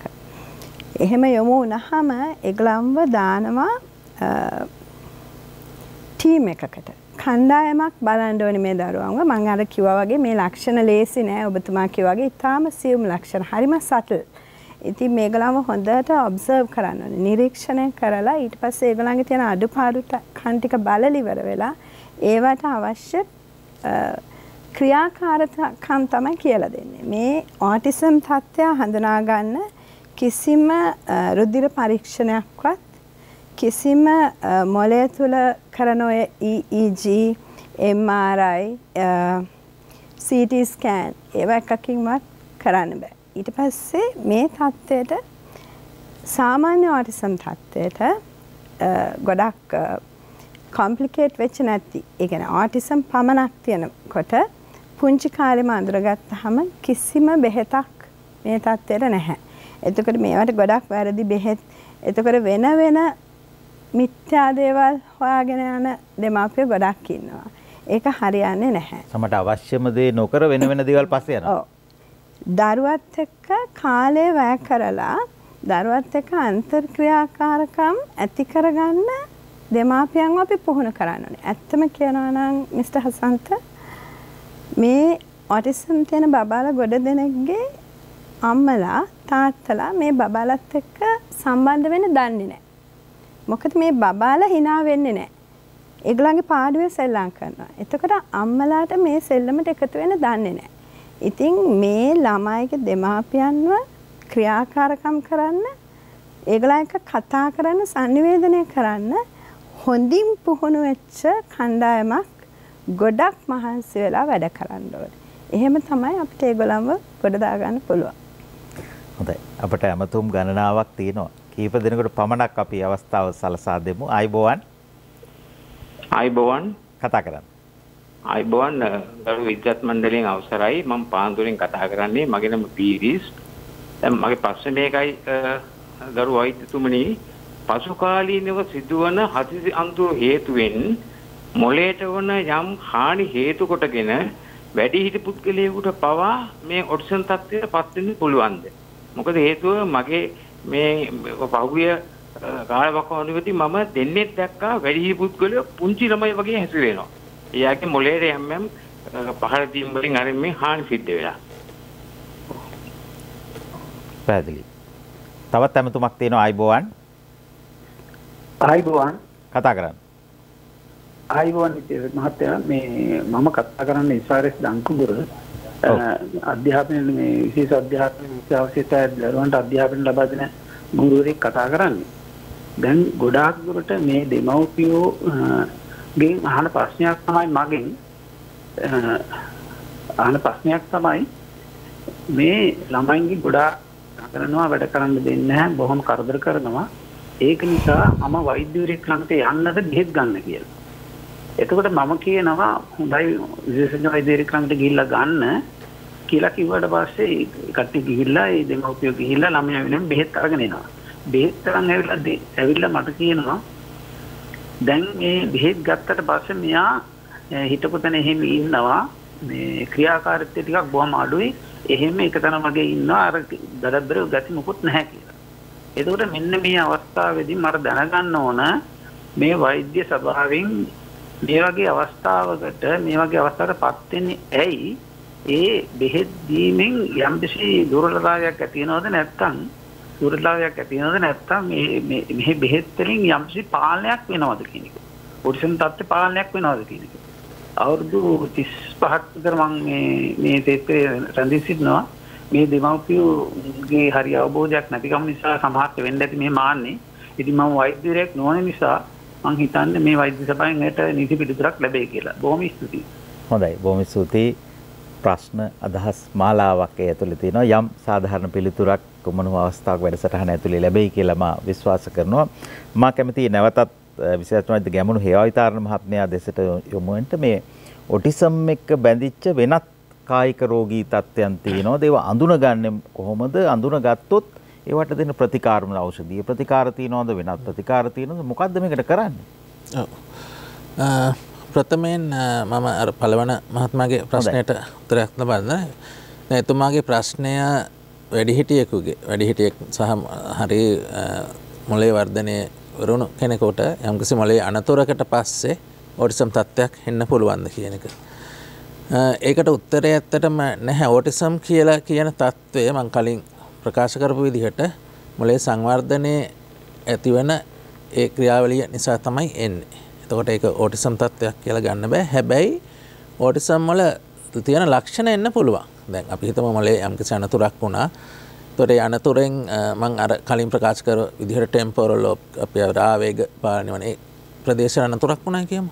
එතකොට ඊට සමාන ලක්ෂණ යාලගේ එන්න පුළුවන් ආවේග සම්බන්ධව නැත්තම් කතා කිරීම නමුත් ඒකට අපි ඕටිසම් කියන වචනය කියන්න බැහැ නමුත් ඕටිසම් තියෙන ලක්ෂණයක් එන්න පුළුවන් එතකොට මං හිතන්නේ පැහැදිලි පැහැදිලි. එතොට ඔබතුමාගේ ප්‍රශ්නය ඕටිසම් සම්බන්ධව වෙන කායික රෝග තියෙනවාද කියන එක එතකොට වෙනත් ස්නාය රෝග ඔවු ඕටිසම් සහ බැඳච්ච වෙනත් ස්නායු ආබාධ තියෙන එකක් තමයි අපස්මාර තත්ත්වය. තර අපස්මාරය කියන එකත් මොලේ වන අපි දැන්මං කලින් කිවගේ මේ මොලේ ජාලයක් තියෙන්නේ විද්‍යුත් පරිපතයක් කියලා හිතුම. අපි විරුද්ධ පරිපතයේ විද්‍යුත් අසාමාන්‍ය විදිහට කරන්න. ෂෝට්වීමක් කියම සරල භාසාාවකින් කියනවන. තොර ඒ වගේ දෙයකින් පිට මතු වෙන එක. එතොට ඕටිසම් දරුවන්ගේ මෙම අසාමාන්‍ය විදිහට තියෙන මේ පරිපත නිසා එයාලගේ සාමාන්‍ය දරුවකට වඩා වැඩි ප්‍රවණතාවයක් තියෙන අපස්මාර තත්වයෙන් තොට සමහරට සියට තිහක් දක්වා තිහක් හතරිහක් දක්වා ඔටිසම් වල අපස්මාර තත්වයෙන්න්න පුළුවන්. එතොට අපස්මාර කියල කිව්වාම ඇත්තන අපස්මාර වර්ග ගණනාවක් තියෙනවා. එතොට මං අර කලින් කිව්වාගේ මොලේ කොටස් වල එක එක කොටස් වලින් එන අසාමාන්‍යතාව වෙන සමත්වන විදිහත් වෙනස්. අපි සාමාන්‍ය විදිහට දකින්නේ අත පය දරදන්න වෙලා ගැහිලා සෙමදාලා එයන විදිහට. ඒ වගේ අස පස්මාර සිහිසුන් වෙලා ඒ විදිහට එන්නත් පුළුවන්. එහෙම නැත්තං විශේෂෙන්ම ඔටිසම් දරුවන්ගේ තියක් විශේෂ වූ අපස්මාර්තත්ව එන්න පුළුවන්. සෙසින් හැසිරීමට අදාළ ක්‍රියාවලි දැන් ඕටිසම් දරු කියන්නේ එකම විදිහට වෙන හැසිරීමේ වෙන වෙනස්කම්. තොට ඇත්තර මෝටිසම් තත්වය හැසිරීමේ වෙනස්කම් එකම විදිහට එන එක ඕටිසම් මොලම ලක්ෂණයක්. සමහර වෙලාට අප තම උදාකරනක ටෙම්පොර් ලෝප් කියලමඟද සෙල ප්‍රකාශ කෙරුව. ඒකෙදී යම්කිසි අසාමාන්‍යතාවයක් නිසා පස්මාර තත්ත්වයක් ආවත් යම්කිසි හැසිරීමේ වෙනසක් එන්න පුළුවන් දරුවගේ. තර සමහර වෙලාවට මේක දෙක වෙන්කර ගැනීමේ අපහසුතාවයක් තියෙනවා. එතර මත මෙතන දෙන්න ඕනේ පණිවිඩය ඕටිසම් තියෙන දරුවකුගේ වෙනද නැති අසාමාන්‍ය හැසිරීම් එකම විදිහ හැසිරීම් එක විදිකට බලන් ඉන්නවා වෙන්න පුළුවන් වෙනද නැති එක විදිහටම එනවන සමහර විට එක පස්මාන තත්ත්වයක් වෙන්න පුළුවන්. එතවට අපිට අර EEG පරීක්ෂණයක් කිරීමෙන් එක වෙන් කරගන්න පුළුවන්. අනිත් එක තමයි ඔටිසම් දරුවන්ගේ තවත් සමහර අපස්මාර තත්ත්වයක් තියෙන අපි කියන නොන් කන්වල්සු ස්ටේටස් කියල ගැනේ පිටිං චලනයක් මොකුත් එහෙම දකින්න හැ මං උදාහරණයක් කියන්න ඇත්තරම අවුරුදු දහයක පමණ දරුවෙක් ඕටිසම් තිබෙන දරුවෙක් සාමාන්‍ය පාසලක යන. ඒ දරුවගේ හදිසියම එයාගේ අධ්‍යාපන වැඩ කරගෙන යන ඒවා ආපස්සර යන්න ගත්තා. යනිකං අර එයාගේ සංනිවේදන කටයුතු තිබිච්ච දේවල් අන්තර් සම්බන්ධතාව තවත් ආපස්සර යන්න ගත්තා. එතකොට මුලින් ඇත්තටම දාල ඔටිසම් සඳහා ප්‍රතිකාර කන වෛද්‍යවරු ඔටිසම් තත්වයම කියලා හිතුව නමුත් ඒක එන්න එන්න වැඩි වුණ. ට පස්සේ මට එමුණට පස්ස අපි අර EEG කියන EG කියන ඇත්තරම ඔළුවේ මේ විද්‍යුත් පරිපතය අපි බලන යම්කිසි පරීක්ෂණයක් එතොට ඒක බැලවා මේයාගේ අපස්මාර තත්ත්වයක් හොඳන ගත්ත. තොර ඒකට ඇත්තරම ප්‍රතිකාර කළ යුතුයි අවෂධ වශයෙන් තොට යාට බොන අවෂධ සහ ඉන්ජෙක්ෂන් වසෙන් විදින අවෂධත් ප්‍රතිකාර කර ප්‍රතිකාර කෙරවාම ආපහු නැවත කලින් තිබිච්ච තත්ත්වයට පත් වුණ. එතකොට ඒක ගොඩක් වැදගත් වෙනවා. ඊට අමතරව අද අනිත් දේවල් තමයි නින්ද යෑමේ ස්ලිප් ඩිස්සෝඩස් කිර කර නින්ද යෑමේ ගැටලු නින්ද ආශ්‍රිත ගැටලු ඔටිසම් දරුවන්ගේ ගොඩක් බහුල සමහර වෙලාට සයට හැත්තෑවක් දක්වා තියෙන්න්න පුළුවන්. නිදා ගැනීම පටන් ගැනීම නැත්තන් නින්ද දිගටම තිබීම නින්දෙදී ඇති වෙන අපව හැරීම ඒ වගේ ගැටලුත් තියෙන්න්න පුළුව. ඊට අමතරව අපි මෝට එක්ටිවිටිස් නැත්තං චලනය සම්බන්ධ දැම කිව්ව කලින්ම ඔටිසම් සම්බන්ධය සාමාන්‍යෙන් එන්නේ චලනයට අදාළ කොටස් නෙමේ නමුත් සමහර වෙලාවට චලනය සම්බන්ධත් යම්කිසි ගැටලු එන්න පුළුවන්. එවිදීම ඒ දේවල් වලත් යම්කිසි අඩුපාඩු බැලන්ස් එක යාලගේ සමබරතාවය පවත්වා ගැනීම ඇවිදින විදිහේ ගැටලු ඒවත් සමහර විට සියලුම අයට නෙමේ සමහර විට ඇතිවෙන්න පුළුවන්. අනිත් එක මට ප්‍රකාශ කරන්න ඕන දැන් ඕටිසම් තත්ත්ව ඇතිවන වෙනත් ආබාධ තියෙනවා. එකනේ අපි කියන සෙරිබ්‍රල් පෝල්සි මස්සික අගාදය කියන තත්ත්වය තකොට ඒකෙදි වෙන්නේ ඇත්තරම ඉපදෙන් ඉස්සල කලල කාලයේදී හෝ ඉපදිලා මුල් කාලය ඇතුළත මොලේට වන යම්කිසේ ස්ථාවර හානියක් වීම උදාහනයක් අපි හිතම අඩු මාසෙන් හම්බෙන දරුවේ. එහෙම නැත්තං ඉපදිච්ච වෙලාවට එම දරුවා අපි ඇඩුවට නෑ කියම. එතකොට මොලේ ටොක්සියන් සැපී මඩු වෙනවා. එක නිසා මොලේ සයිල විනාස වෙනවා. තොර ඒ වගේ දෙයක් නිසා ඇතිවන තත්ත්වයක් තමයි අපි සෙරිබ්‍රල් පෝල්සි මස්තිස්ක අගාදය කියලා කියන්නේ. එකෙදි ගොඩක් වෙලාවට එන්නේ එයාලගේ මෝට එක්ටවිරිසි කැන විදීම ඒ වගේ දේවල්. නමුත් ඒ කට්ටියගේ තර ඕටිසම් ලක්ෂණ තියෙන්න පුළුව. අනිත් එක ජාන තත්තම කලනොත් කිව්වා. දැන් මේක ජානමය තත්වයකින් තම ඔටිසම් එනවා කියල කිව නමුත් සහර ජානමය සින්ද්‍රෝම්ස් කියල තින දැන් උදාන රෙට් සින්ද්‍රෝම් කියල කියෙන තොට ඒවයිත් ඕටිසම් තත්ව දකින්න පුළුවන්. සහ අනිත් එක තමයි දැන් ඕටිසම් වගේ මතුවන දැන්ල දරුවෙක් කතා කරන්නේ නැත්තන් ඒ අනිවාරය මෝටිසම් නෙමේ ඒ වගේ එන තවත් ලක්ෂණ තියෙන දාහනයක් දරුවෙක් කතා කරන්න ඇත්තම් ප්‍රධාන වශයෙන් ශ්‍රවණයට ඇහෙන්නේ නැතිවෙන්න පුළුවන්. එක තමයි ප්‍රධානම හේතුව. තොර ඇසීම නැති නිසත් එන්න පුළුවන්. තොර ඕටිසම් නෙමම එක යන්න ඕටිසම් වගේ එන වෙනත් ලක්ෂ සමහර අපස්මාර තත්ව මම තව උදාහරණයක් කරන්න කියන්නම්. අවුරුදු පහක දරුවෙක් මට යොම කෙරුවා පලවෙන වසරේ ස්කෝලේ පන්තිබාර ගුරුතුමිය විසින්. ඒ දරුව කතා කරන්න තොර ඒ දරුව ඇත්තරම අවුරුදු තුන හතර වෙනකං හොඳට කතා කරලා දෙන පෙරපාසලේ අන්තිම කාලෙදී දරුවාගේ කතාව සම්පූර්ණයෙන් නැවතිලා තියෙන. තොර ඕටිසම් කියල තමයි මුලින් ප්‍රතිකාර කරලා තියෙන්නේ නමුත් එයාගේ ඇත්තරම අපස්මාර තත්ත්වයක් තියෙන්නේ තෝට ඒකට ඔටිසම් තත්ත්වයන්නේ මේකට වෙනම ප්‍රතිකාර කෙරුවාම දරුව සම්පූර්ණයෙන්ම සාමාන්‍ය තත්වයට පත් වුණ. එතකොට ඒටික තමයි වෙනත් ආබාධ ගැනමට සඳහන් කරන තිවෙන. පුංචි දරුවෙක් කතා නොකලට හිනා නොවනට ඒ ඔටිසම් කියලාම හිතන්ට එපා එක වෙන හේතුවකන බෝල දැම්මම ආපහු එව්වේ නැත්තම් මේ ළමයට ඔටිසම් කියලා හිතන්න ඕනේ.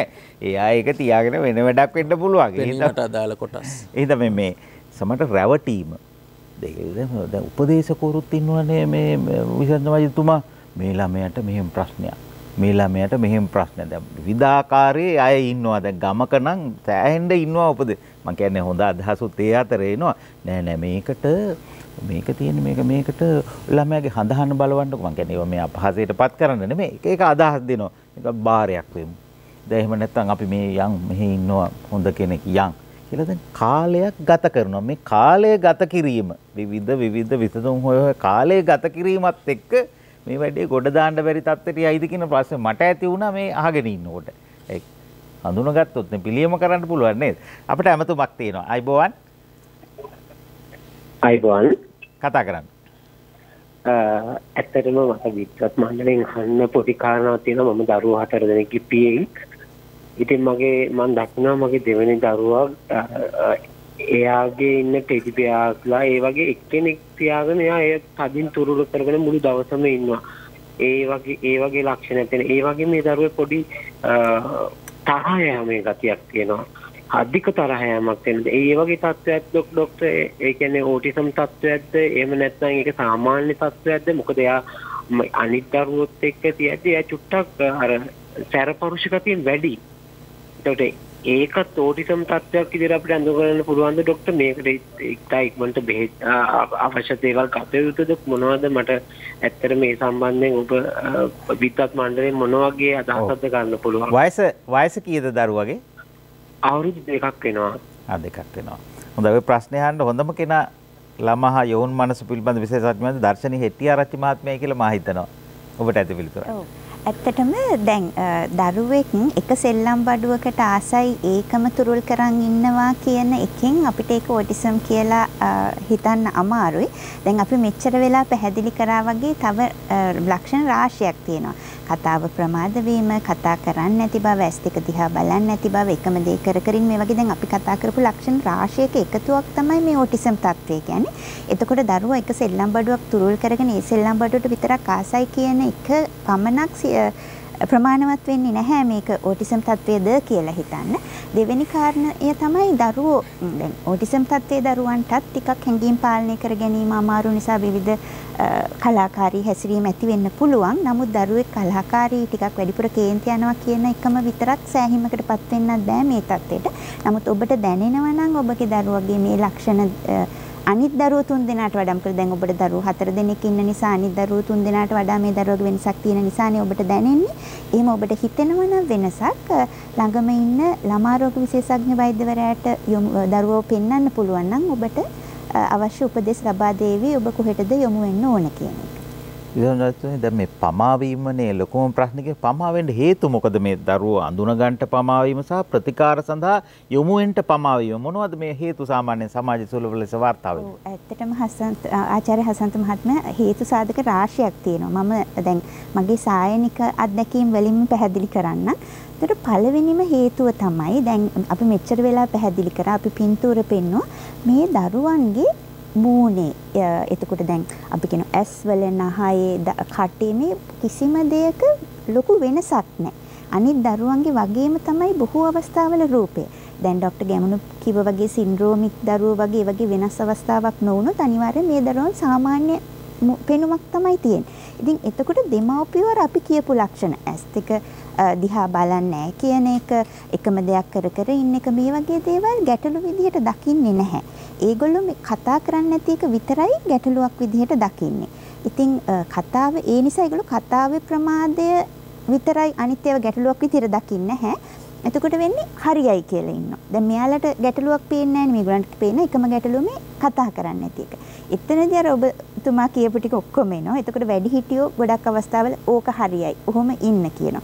ඒ එක්කම තමයි මම කිසිම ආකාරයකින් අපහාසයක් කිරීමට නෙවෙයි කියන්නේ. නමුත් මගේ සායන වලට ආපු ගොඩක් දරුවෝ ඉන්නවා මේ හන්දහන බලලා එහෙමත් නැත්නම් කේන්දරේ බලලා අවුරුදු 3 හරි 4 හරි වෙනකොට කතා කරයි කියපු නිසා තව ටිකක් ප්‍රතිකාර වලට යොමු වෙන්න ප්‍රමාද වෙච්ච අවස්ථා.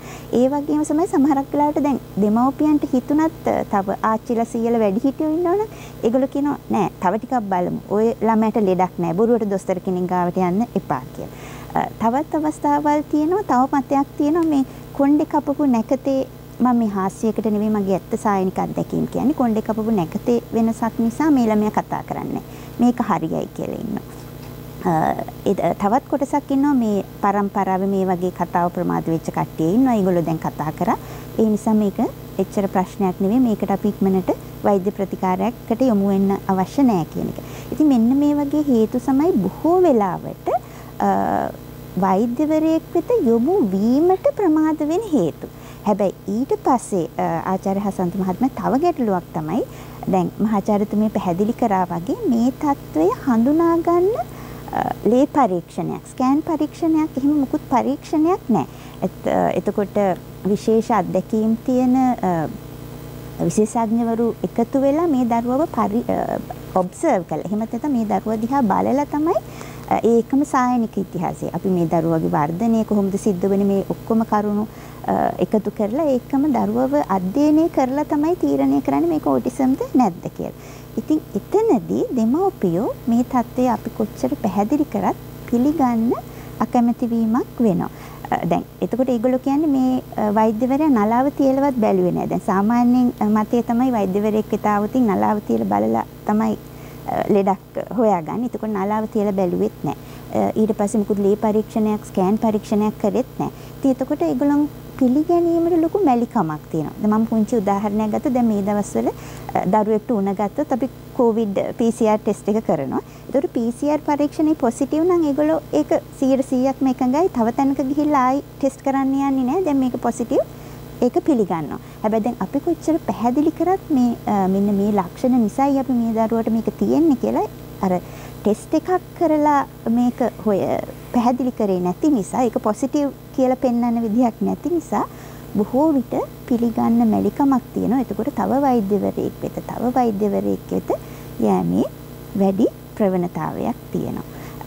ඒ එක්කම මේක මේ ගැටලුවක් මේකට ප්‍රතිකාර ක්‍රම තියෙනවා කියන එක පිළිගැනීමට කලින් අර ඔබතුමා කිව්වා වගේ වෙන වෙනත් ක්‍රම හරහා මේකට පිළිතුරු සෙවීමට යොමු වීම නිසාත් මේ අවශ්‍යම කාලයේ ප්‍රතිකාර ක්‍රමවලට යොමු වීමේ අඩුවක් තියෙනවා.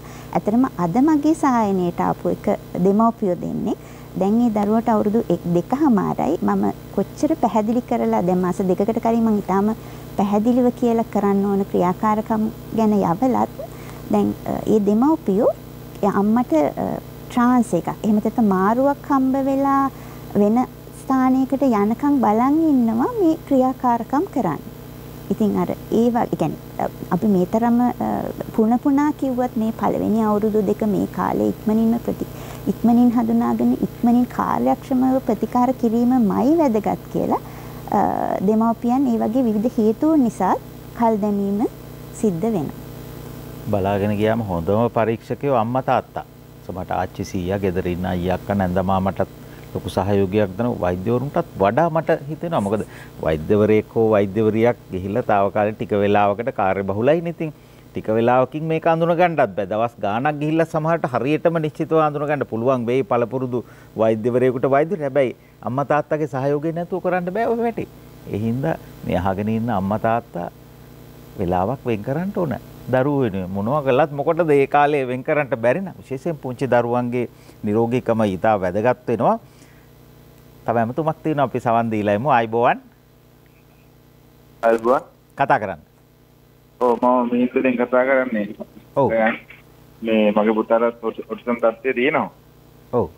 අපි ඒකට ප්‍රතිකාර ගන්න ගමන් ඉන්නේ. මට දැනගන්න පුළුවන්ද මේ CTP බස් එකක් යනවා ගෙදර ඉස්සරහ. යද්දී පුතා කෑ ගහනවා. බස් එක දැක්කොත් කෑ ගහන්නේ නැහැ. ඒකට මොකක්ද හේතුව කියලා පොඩ්ඩක් දැනගන්න පුළුවන්. පොඩ්ඩක් පැහැදිලි කරන්න. කියන්නේ බස් එක දැක්කොත් අඬන්නේ නැහැ. බස් එක දැක්කොත් අඬන්නේ නැහැ.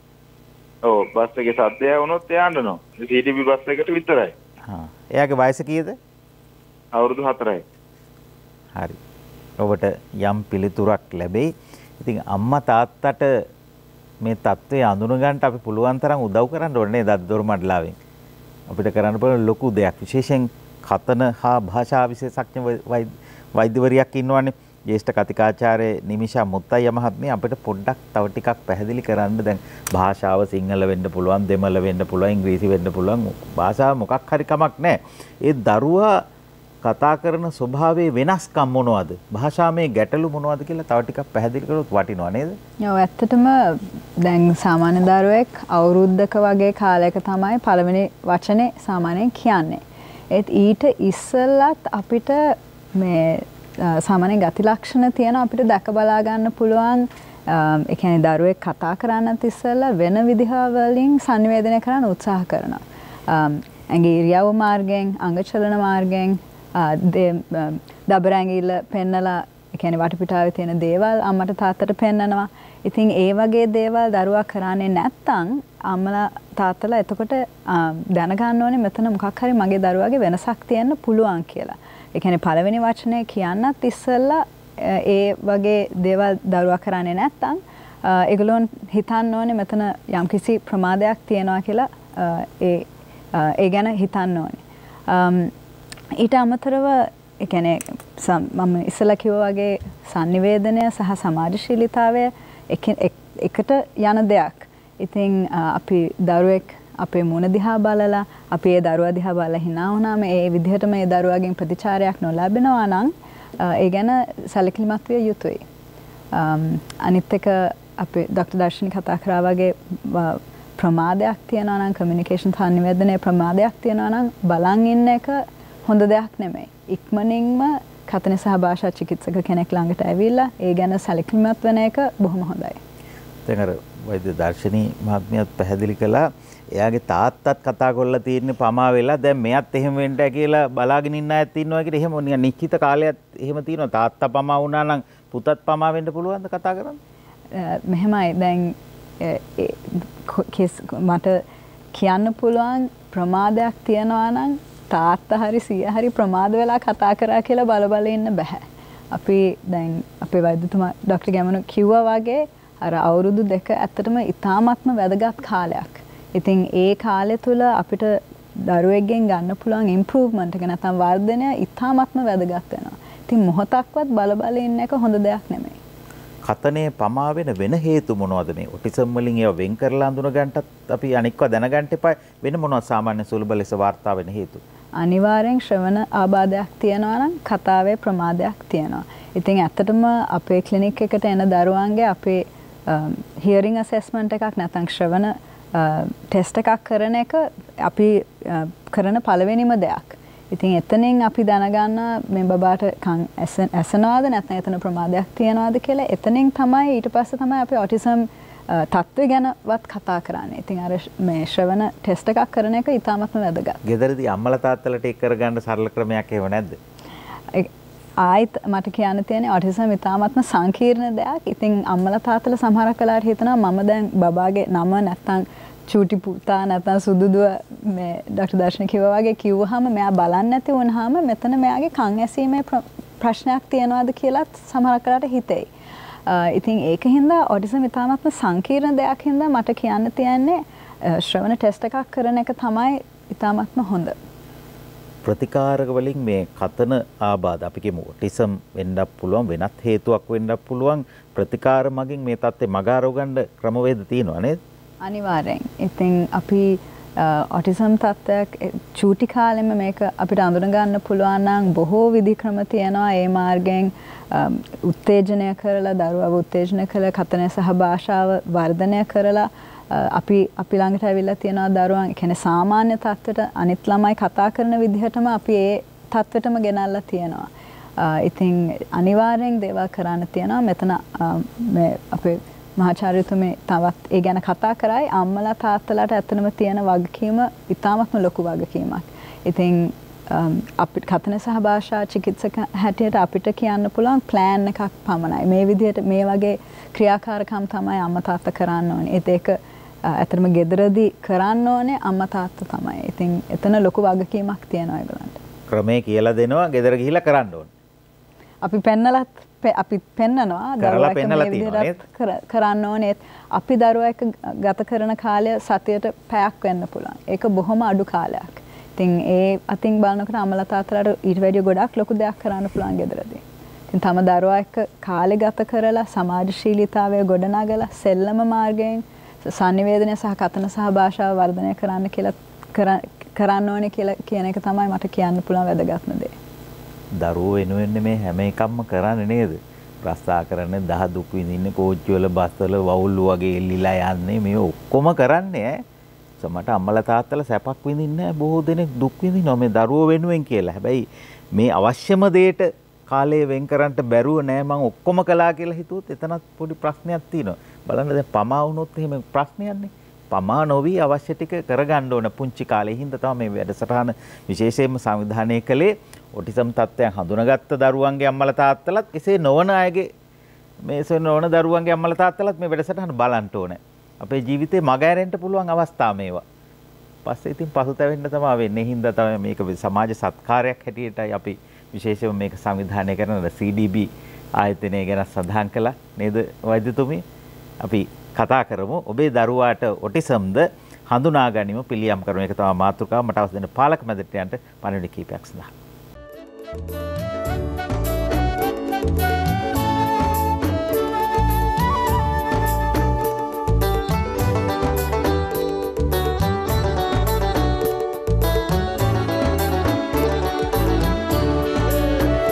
සිරිලක ඇසිදිසි සරසවි පින්දිම දොරින් දොරට දොර මඩලාවයි. ඔබේ දරුවාට ඔටිසම්ද හඳුනා ගනිමු පිළියම් කරමු. මම වැඩසටහන ආරම්භයේදීම සිහිපත් කළා මේ වචනය භාවිත කිරීම ගැන ඔටිසම් කියන වචනේ සමහරු ටිකක් බයයි. මේ වචනේ පාවිච්චි කරන්නටත් කැමති නැහැ. නමුත් වැඩසටහනක් හැටියට අපට sannivedana අවශ්‍යතාව සඳහන් තමයි පණිවිඩේ සමාජගත වෙන්නේ නැහැ මේ වචනේ නොකිය මේක ගැන කතා කළා. මේ නිසා අපි විශේෂයෙන් අවධාරණය කරලා කිව්වා සමහර විට අකමැති ඇති මේ වචනේ පාවිච්චි කරන්න.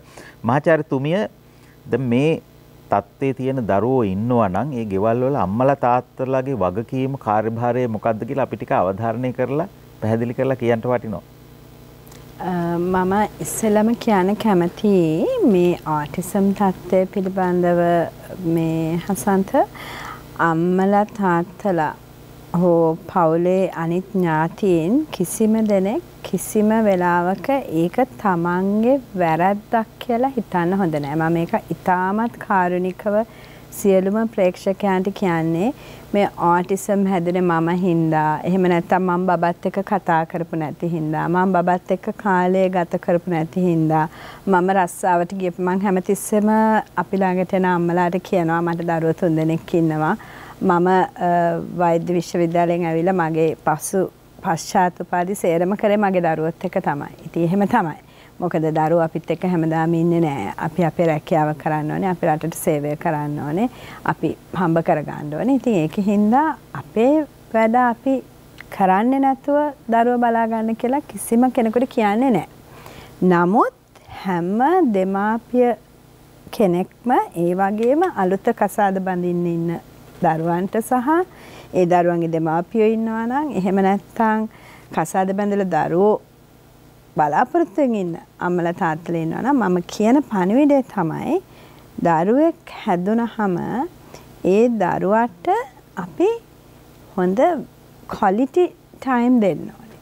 කියන්නේ අපි වැදගත් විදිහට හරි විදිහට දරුවත් එක්ක කල් දැන් අපේ ෆෝන් එකේ අපි ඉඳගෙන බබාව මෙහෙම තියලා ඉන්න එක බබා ළඟින් ඉන්න එක නෙවෙයි හරිද? ඒක වැරදි. අපි බබාව හොඳට නිරීක්ෂණය කරන්න ඕනේ බබත් එක්ක සම්බන්ධ වෙන්න ඕනේ දරුවාගේ සංවර්ධනය සඳහා කරන්න පුළුවන් උපරිම කැපවීම කරන්න ඕනේ. ඒක අපි ළමයා වෙනුවෙන්ම වාඩි වෙලා කරන්න ඕනේ අපි කුස්සියට යනවා නම් දරුවව පොඩි තොටිල්ලක තියාගෙන ගිහිල්ලා අපි වැඩ කරන ගමන් දරුවත් එක්ක කතා කරන්න පුළුවන්. ඉතින් එහෙම තමයි අපි කවුරුත් දරුවෝ හැදුවේ. ඉතින් ඒ අර අපි දෙන්න ඕනේ රැකවරණය. ඒකට අපි කියන්නේ රැකවරණය කියලා. ඒ රැකවරණය ආදරය උත්තේජනය අපි දරුවන්ට ලබා දෙන්න ඕනේ. එතකොට ඕටිසම් කියන தත්ත්වය තව මතක් කරන්න තියෙනවා මේක මේ පරාසයක් තුළ එන තත්ත්වයක්. සමහර දරුවන්ට තියෙන ඉතාමත් මද ඕටිසම්. සමහර දරුවන්ට මධ්‍යම ප්‍රමාණය සමහර දරුවන්ට අධික ප්‍රමාණය.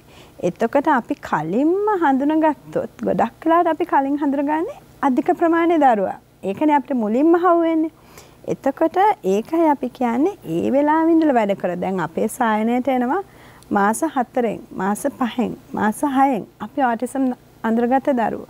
ඒ දරුවෝ අවුරුදු දෙක වෙනකොට අර ඩොක්ටර් මුත්තයා කිව්වා වගේ ඔටිසම් නැහැ කියලා අපි ඩයග්නොසිස් එක රිවයිස් කරලා ගෙදර යවනවා. ඒකෙන් ඔටිසම් නැති කරන්න බෑ. නමුත් අපිට ඒක හොඳටම පාලනය කරලා ඒ දරුවන්ගේ sannivedana ඒගොල්ලන්ගේ අර නරක හැසිරීම ඒව නැති කරලා දාලා හොඳම තත්යකට ගේන්න පුළුවන්. හැබැයි මේක කරන්නේ අපි නෙවෙයි. මේක කරන්නේ අපිත් එක්ක වැඩ කරන අම්මලා තාත්තලා. ඒගොල්ලන් ඒ කැපවීම දුන්නොත් විතරයි අපිට දරුවන් මේ තත්තර ගන්න පුළුවන්. මොකද අපි කියලා දෙනවා. අපි මිනිත්තු 20ක් 30ක් මම නම් ડોක්ටර් කෙනෙක් හැටියට බලන්නේ මාස 6කට සැරයක් වගේ. ડોක්ටර් මුන්තයියා ඇතුළු කණ්ඩායම නිතරම බලනවා ඒගොල්ලන්ව. නමුත් අපිට ඒගොල්ලන්ගෙන් වෙනසක් දකින්න හම්බ වෙන්නේ අර අපි කියලා දෙන වැඩ ටික හරියට කරපු දෙමාපියන්ගේ විතරයි. ඉතින් ඒ කැපවීම ඕනේ විද්‍යාත්මකව පෙන්නනවා. අඩුම ගානේ දවසකට පැය තුනක්වත් දරුවෙක් එක්ක අන්තර්ක්‍රියා කරමින් කාලය ගත කරන්න ඕනේ කියලා මේ වගේ දරුවෝගේ අම්මලා. ඉතින් ඒ පැය තුන දෙන්න ගොඩක් මහන්සි වෙන්න ඕනේ උදේට මූණ හොදනකොට බබත් එක්ක කතා කරනකොට. අපේ දෙමව්පියෝ පුරුදු වෙලා තියෙනවා බබා ඇවිල්ලා ළඟට වතුර කිල්ලනකොට මූණ බලන්න නැතුව වතුරක මෙහෙම දෙන්න. ඒකටවත් වෙලාව නැහැ. ඉතින් අනිත් එක තමයි තව කියන්න ඕනේ අර බස් එක ගැන කිව්වා වගේම මේ දරුවන්ගේ තියෙනවා දැඩි හැසිරීම් රටා. ඒ කියන්නේ ඒගොල්ලෝ යම්කිසි දෙයකට පුරුදු වුණොත් ඒක ඒ විදිහටම හැමදාම වෙන්න ඕනේ. ඒක ඔටිසම් ලක්ෂණයක්. ඒක තමයි අපි දකින්නේ බස් එකට අකමැති වීම හෝ බස් එක ඇසුනහම කලබල වීම කියන එක සමහරට ශබ්දයට තියෙන අධික සංවේදීතාවයක් වෙන්න පුළුවන්. ඒ වගේම තමයි මේ දරුවෝ හරි ආසයි කතා කරන්නේ නැතුව එක තැනකට වෙලා ඉන්න. කවුරුත් අනිත් ඒගොල්ලන්ගේ අර සමාජශීලී කියන්නේ හියුමන්ස් කියන එක මනුෂ්‍ය කියන එක අපි අඳුරගන්න වෙනස් කරන්න පුළුවන් සත්වයන්ගෙන් ඒගොල්ලන් ගොඩක් සමාජශීලී. එතකොට මේ ඔටිසම් ළමයිගේ සමාජශීලීත්වය නැහැ. ඉතින් ඒගොල්ලන් කැමති පැත්තකට වෙලා ඉන්න. එතකොට ගොඩක් වෙලාවට දෙමාපියෝ ඒගොල්ලන්ට ටෙලිවිෂන් එක ටැබ් එක ස්ක්‍රීන් එක දෙන්න පුරුදු වෙලා තියෙනවා. ඔටිසම් හැදෙන්නේ නැහැ ස්ක්‍රීන් එක හින්දා. නමුත් ස්ක්‍රීන් එක දුන්නොතින් බබා ඒ විද්‍යුත් තිරයට ඇබ්බැහිවීමක් වෙනවා. මොකද ඒගොල්ලන් හරි ඉක්මනට දේවල් වලට ඇබ්බැහි වෙනවා. ඉතින් ඒ අවුරුදු දෙකක් ඉවර වෙනකන් ලෝක සෞඛ්‍ය සංවිධානයෙන් කියලා තියෙනවා දරුවන්ට විද්‍යුත් තිර දෙන්න එපා කියලා. ඉතින් ඒකත් මට කියන්න ඕනේ පණිවිඩයක්. ළමයා නලෝ ගන්න උනාම ජංගම දුරකථනය කිට්ටු කරලා හරියන්නේ නැහැ. නෑ මොකද ආටිසම් බබලා ටිකක් අඬන්න බලනවා අම්මලා ඕනවට වැඩිය ඒගොල්ලත් එක්ක ලං වෙනකොට. ඉතින් එතකොට ඒගොල්ලන්ට අරව දෙන්න අම්මලා පුරුදු වෙනවා. ඉතින් ඒක අර ආටිසම් ලක්ෂණත් එක්කම තමයි ඒක යන්නේ. ඒ ඒක ඉතින් දෙමාපියෝ දැනගන්න ඕනේ මොකද්ද මෙතන වෙන්නේ කියලා හොඳට විශ්ලේෂණය කරලා බලන්න. මහාචාර්යතුමිය මේ මට ආරංචි වුණා ඔය සමහර දරුවෝ ඉන්නවනේ ජංගම දුරකථන හරි ආදරේලු. අල්ලනවා මේරිකන ඔක්කොම ටච් සිස්ටම් නේ තියෙන්නේ ටච් ටච් කරනවා උම්මා එකකුත් දෙනවලු මේ ජංගම දුරට. ඔක්කොම කාටුත් දානවා රූප දානවා සින්දු දානවා නැලවිලි ගීයක් දාන්නේ මේකෙන්. ඉතින් චූටි පුතා හිතනවත් දන්නේ මේ අම්මා කියලා. ඒ ඉතින් යානේ ආදරේ මම අම්මලාට කියනවා ඒගොල්ලන් දැන් ජංගම දුරකථනේ අතේ අරගෙන ඉපදුනේ නෑනේ ළමයි. දැන් මට ඇවිල්ලා කියනවා දැන් ડોක්ටර් මේ අපිට ලැජ්ජයි කියන්න අපේ බබා මේ ෆෝන් එකට ඇඩික්ට් වෙලා. ඉතින් මං අහනවා බබා බඩෙන් ඉපදෙනකොට ෆෝන් එක අතෙන් අරන් ආවේ කියලා. ඉතින් මොකද බබාගේ වැරද්ද නෙවෙයි ඒක අම්මලා තාත්තලා තමයි දෙන්නේ. ඉතින් ඒක මම බොහොම කරුණාවෙන් ඉල්ලා හිටිනවා ලංකාවේ සියලුම දෙමාපියන්ට ඔය ජංගම දුරකථන හදපු අය රයිට් ස්ටීව් ජොබ්ස්ලා වගේ ඒගොල්ලන් පුංචි කාලේ ඒගොල්ලන් ජංගම දුරකථන පාවිච්චි කරේ නැහැ. අපේ අම්මලා තාත්තලා හිතනවා ආ අපේ බබාට YouTube එකට යන්න පුළුවන්. අපේ බබාට ඕන ප්‍රෝග්‍රෑම් එකක් ගන්න පුළුවන්. එයාට ඕන කායක පික්චර් එකක් ගන්න දන්නවා. ඉතින් එහෙම දක්ෂතාවයක් කියලා හිතන්න එපා. ජංගම දුරකථන හදපු මිනිස්සු ජංගම දුරකථන පොඩි දරුවෝ හැටියට පාවිච්චි කරේ නැහැ. මෙහෙම ගියොතින් අපේ ඉදිරියට එන ජනගහනය පරම්පරාව ඉතාමත් අඩු අඩු බුද්ධි මට්ටමක් තමයි ඇති වෙන්නේ. මොකද ඒ දරුවන්ට කිසිම පාරිසරික දෙයක් අත්විඳින්න අපි ලබා දීලා නැති හින්දා. එතකොට ආටිසම් තත්ත්වයක් වැඩි වෙනවා. ඇත්තටම ලෝකයේ ආටිසම් තත්ත්වය දැන් ගොඩක් වැඩි. ඇමරිකාවේ 1975 ළමයි 2500කට එක්කෙනෙක් හිටපු එක අද ළමයි 44කට එක්කෙනෙක් ඉන්නවා. ලංකාවේ දත්ත අපිට නෑ අපිට තියෙන 2009 දත්ත ඒ අනුව ළමයි 97කට එකක් ඉන්න පුළුවන්. ඉතින් මේක ගොඩක් දෙමාපිය හිතනවා මේ ආටිසම් කියන්නේ හරි මේ සමහර දෙමාපිය හිතනවා ගොඩක් අය නෙවෙයි මේ මේ ආටිසම් දරුවන්ට ගොඩක් දක්ෂතා තියෙනවා කියලා. ඒ කියන්නේ ඒගොල්ලන්ට භාෂා කතා කරන්න පුළුවන්. ඕගොල්ලෝ වුණත් දකින්න ඇති ඔය YouTube වල එහෙම යනවා හින්දි කතා කරන්න පුළුවන්, ජපන් කතා කරන්න පුළුවන්, රුසියන් කතා කරන්න පුළුවන්. ඉතින් ඇත්තට මේක දක්ෂතාවයක් නෙවෙයි. ඒගොල්ලන්ට මේ භාෂාව අර ටෙලිවිෂන් වල ඇහිලා කටපාඩමින් කියන්න පුළුවන්. ප්‍රශ්න දෙක තුනකට උත්තර දෙන්නත් පුළුවන්. හැබැයි අපි ඒගොල්ලන්ට හොඳ ලොකු මේ පැරග්‍රාෆ් එකක් පරිච්ඡේදයක් වගේ දීලා ඒකෙන් පාඩමක් අහලා කියවලා උත්තර අහුවතින් ඒ ළමයිට ඒක බෑ. ඉතින් අර දැනුම තියෙන ඉතාමත් උඩ තරලයක ගැඹුරු දැනුමක් නැහැ භාෂාවල් පිළිබඳව. ඉතින් ඒක ඒකත් මම කියන්න ඕනේ අනිත් එක අර තාත්තා කතා කරා සීයා කතා කරා කියලා කියවනේ. ඇත්තට මේක පවුලේ ඇති වෙන්න පුළුවන්. ඒ කියන්නේ සීයා තාත්තා ඒගොල්ලන්ගෙත් පොඩ්ඩක් තියෙන්න පුළුවන්. ඉතින් මේක පොඩ්ඩක් ඒ පිළිබඳ කල්පනාවෙන් ඉන්න කියලා තමයි කියන්නේ. ආරයට යනවද මහාචාර්යතුමියෝ? අර අපි ජාන ගැන කතා කරානේ. එතකොට ඒක පොඩි එහෙම ගතියක් තියෙනවා.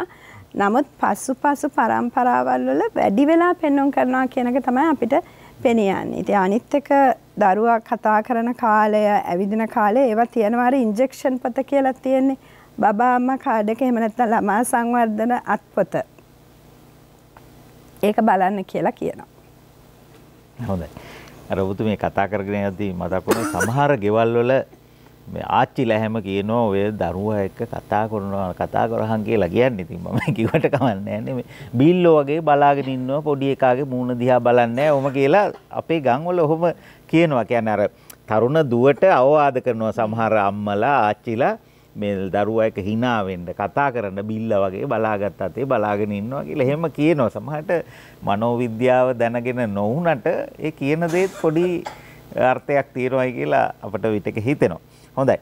මේ ප්‍රතිකාර මොකද්ද මේ මේක තියෙනවනම් ප්‍රතිකාර පැත්ත අපි කතා කරන්න ප්‍රතිකාර අපට කියන්න බෑ. ඒක පිළිගත්තු සුසුකම් සහිත විශේෂඥ වෛද්‍යවරු කියන්න ඕනේ. වෛද්‍යතුමා. ඕටිසම් තත්ත්වයේ ප්‍රතිකාර තමයි අපි කතා කරුවේ. ඒ ඇත්තටම ఔෂධ ප්‍රතිකාර නෙමෙයි අපි දැන් මෙච්චරලා කතා කරුවේ. ඒතර ඖෂධයක්, ඒ කියන්නේ පෙත්තක් දැන් ගොඩක් වෙලාවට අපේ දෙමාපිය වෙලා ඉන්නේ මේ අසනීපයක් තියෙනවා. ඒකට බෙහෙතක් දෙන්න පෙත්ත. එහෙම එකක් ඕටිසම් සඳහා නෑ. ඒක තමයි මං හිතන්නේ අපි මෙතෙක් වෙලා කතා කරුවේ. නමුත් මගේ පැත්තෙන් ඇත්තටම මම සමහර මං කිව්ව ඕටිසම් එක්ක එන සමහර ස්නායු ආබාධ තියෙනවා කියලා. ඒවට අවශ්‍ය වෙලාවට ඖෂධ දෙන්න වෙනවා. උදාහරණයක් වශයෙන් දැන් ඔටිසම් දරුවකට අපස්මාර තත්ත්වයක් තියෙනවා නම් ඒ අපස්මාර පාලනය කිරීමට අනිවාර්යෙන්ම ඖෂධ අවශ්‍ය වෙනවා. ඒක නිර්ණය කරුවට පස්සේ එම ඖෂධ නිසි කාරව දිගට ගන්න ඕනේ. නමුත් ඒක වැරදවා තේරුම් ගන්න එපා. ඒක ඕටිසම් තත්ත්වය සඳහා නෙමෙයි.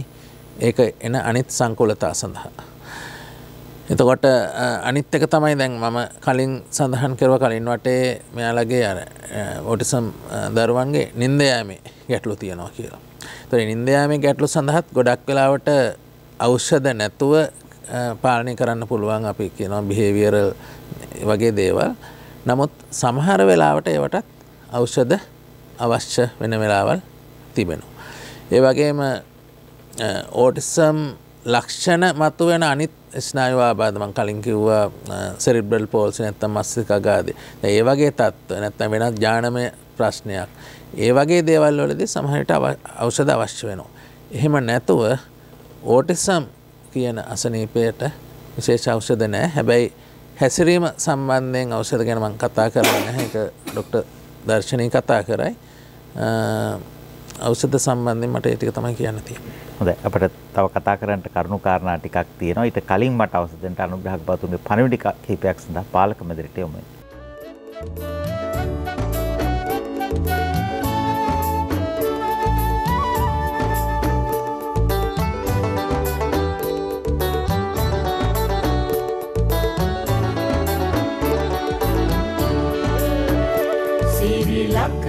ඇසිදිසි සරසවි පින්දිම දොරින් දොරට දොර මඩලාවයි.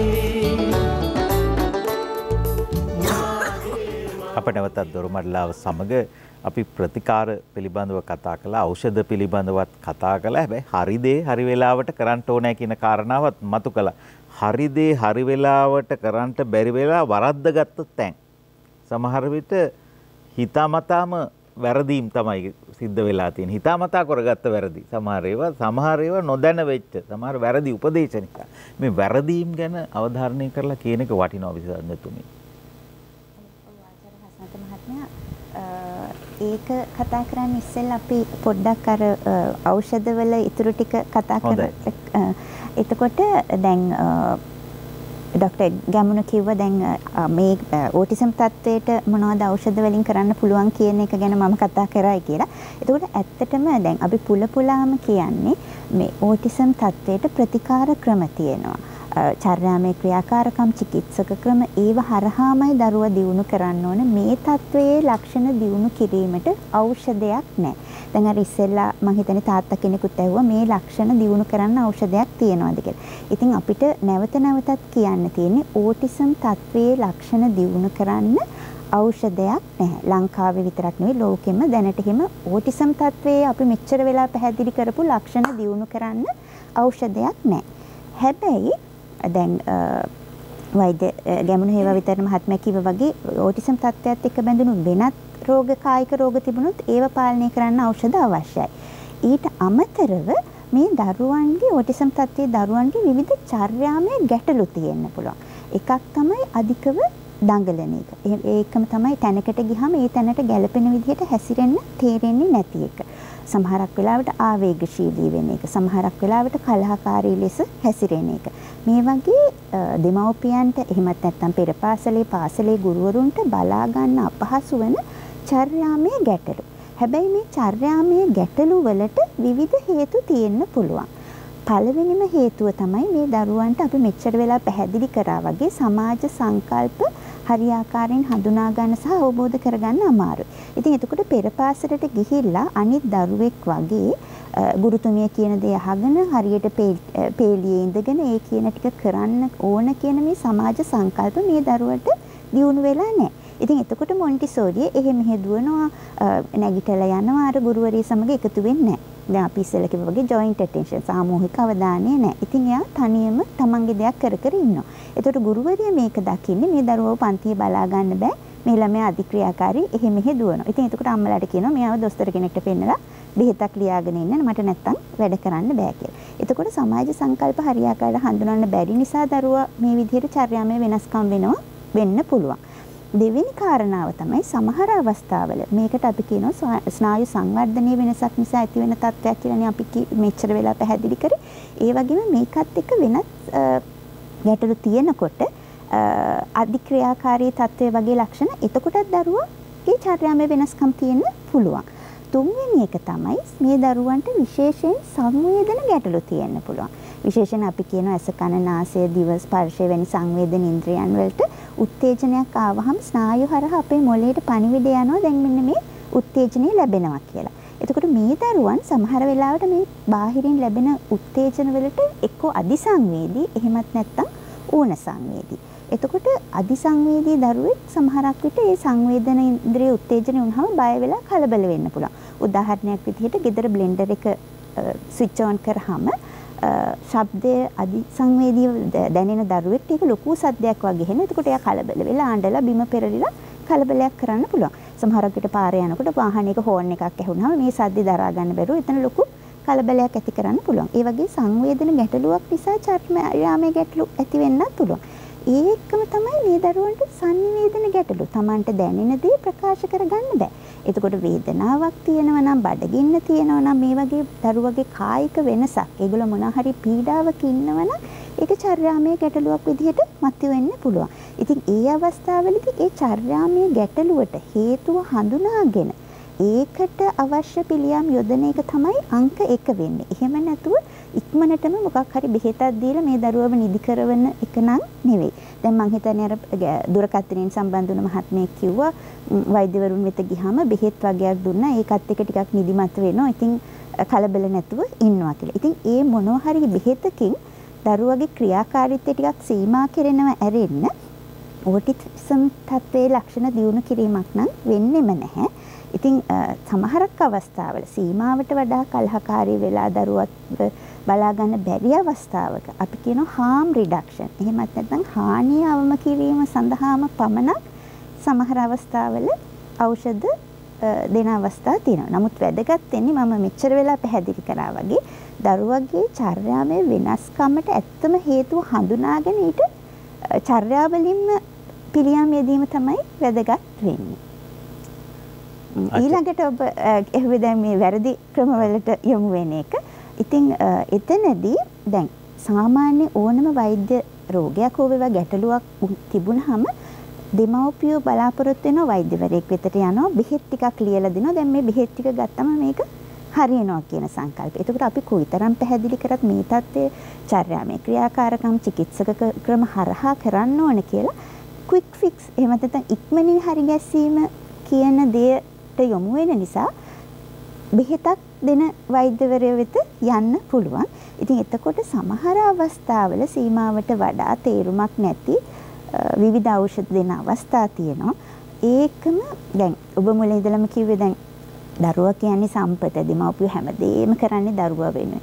ඉතින් එතකොට දරුවට ගැටලුවක් තියෙනකොට තියෙන සේසතම ඉඩම් කඩම් ඔක්කොම විකුණලා කරන්න පුළුවන් ක්‍රියා දෙයක් කරන්න උත්සාහ කරන දරුවා වෙනුවෙන්.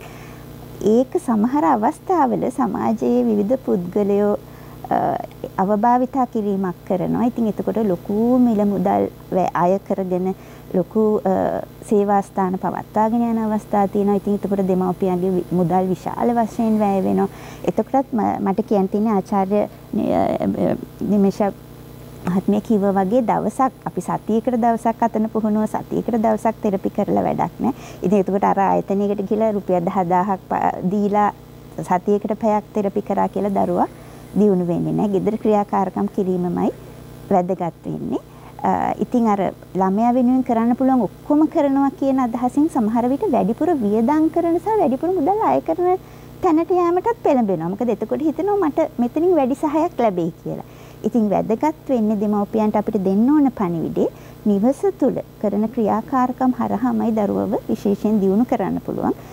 මුදල් වැය කිරීම මගින් මේ தত্ত্বය දියුණු කරන්න බෑ කියන එක. සමහරට කලබල වෙලා වැඩි වැඩ කරන්න කියලා නැති ලෙඩත් හදාගන්න අවස්ථා තියෙනවා. අර බේතක් දීලා අරයා කියන බේතක් බීලා මෙයා කියන බේතක් බීලා අර වැඩෙත් කළා මේ වැඩෙත් කළා සමහර ළමයාට වදයක් වෙලා ඒ ළමයා තවත් මානසික පීඩනයකට පත් වෙන්න පුළුවන්. මේ පුංචි දරුවෝනේ මේ හරි සියුම් අවධියක් නේ ඕක නේද? ඉතින් එහෙම පරිස්සමට කරන්න ඕන වැඩ තව ඇමතුමක් තියෙනවා අයිබෝවන් අයිබෝන් කතා කරන්න. ඔව් මම මේ පෙර පාසල් ගුරුවරියක්. දැනට වසර 20ක පමණ සේවා කාලයක් තියෙනවා. මම මිනිෂ මැඩම්ගෙන් විශේෂ අවශ්‍යතා දරුවන් සම්බන්ධව දරුවන්ට ඉගැන්වීම් කටයුතු කරන එක සම්බන්ධව පාඨමාලාවකුත් හදාarලා තියෙනවා.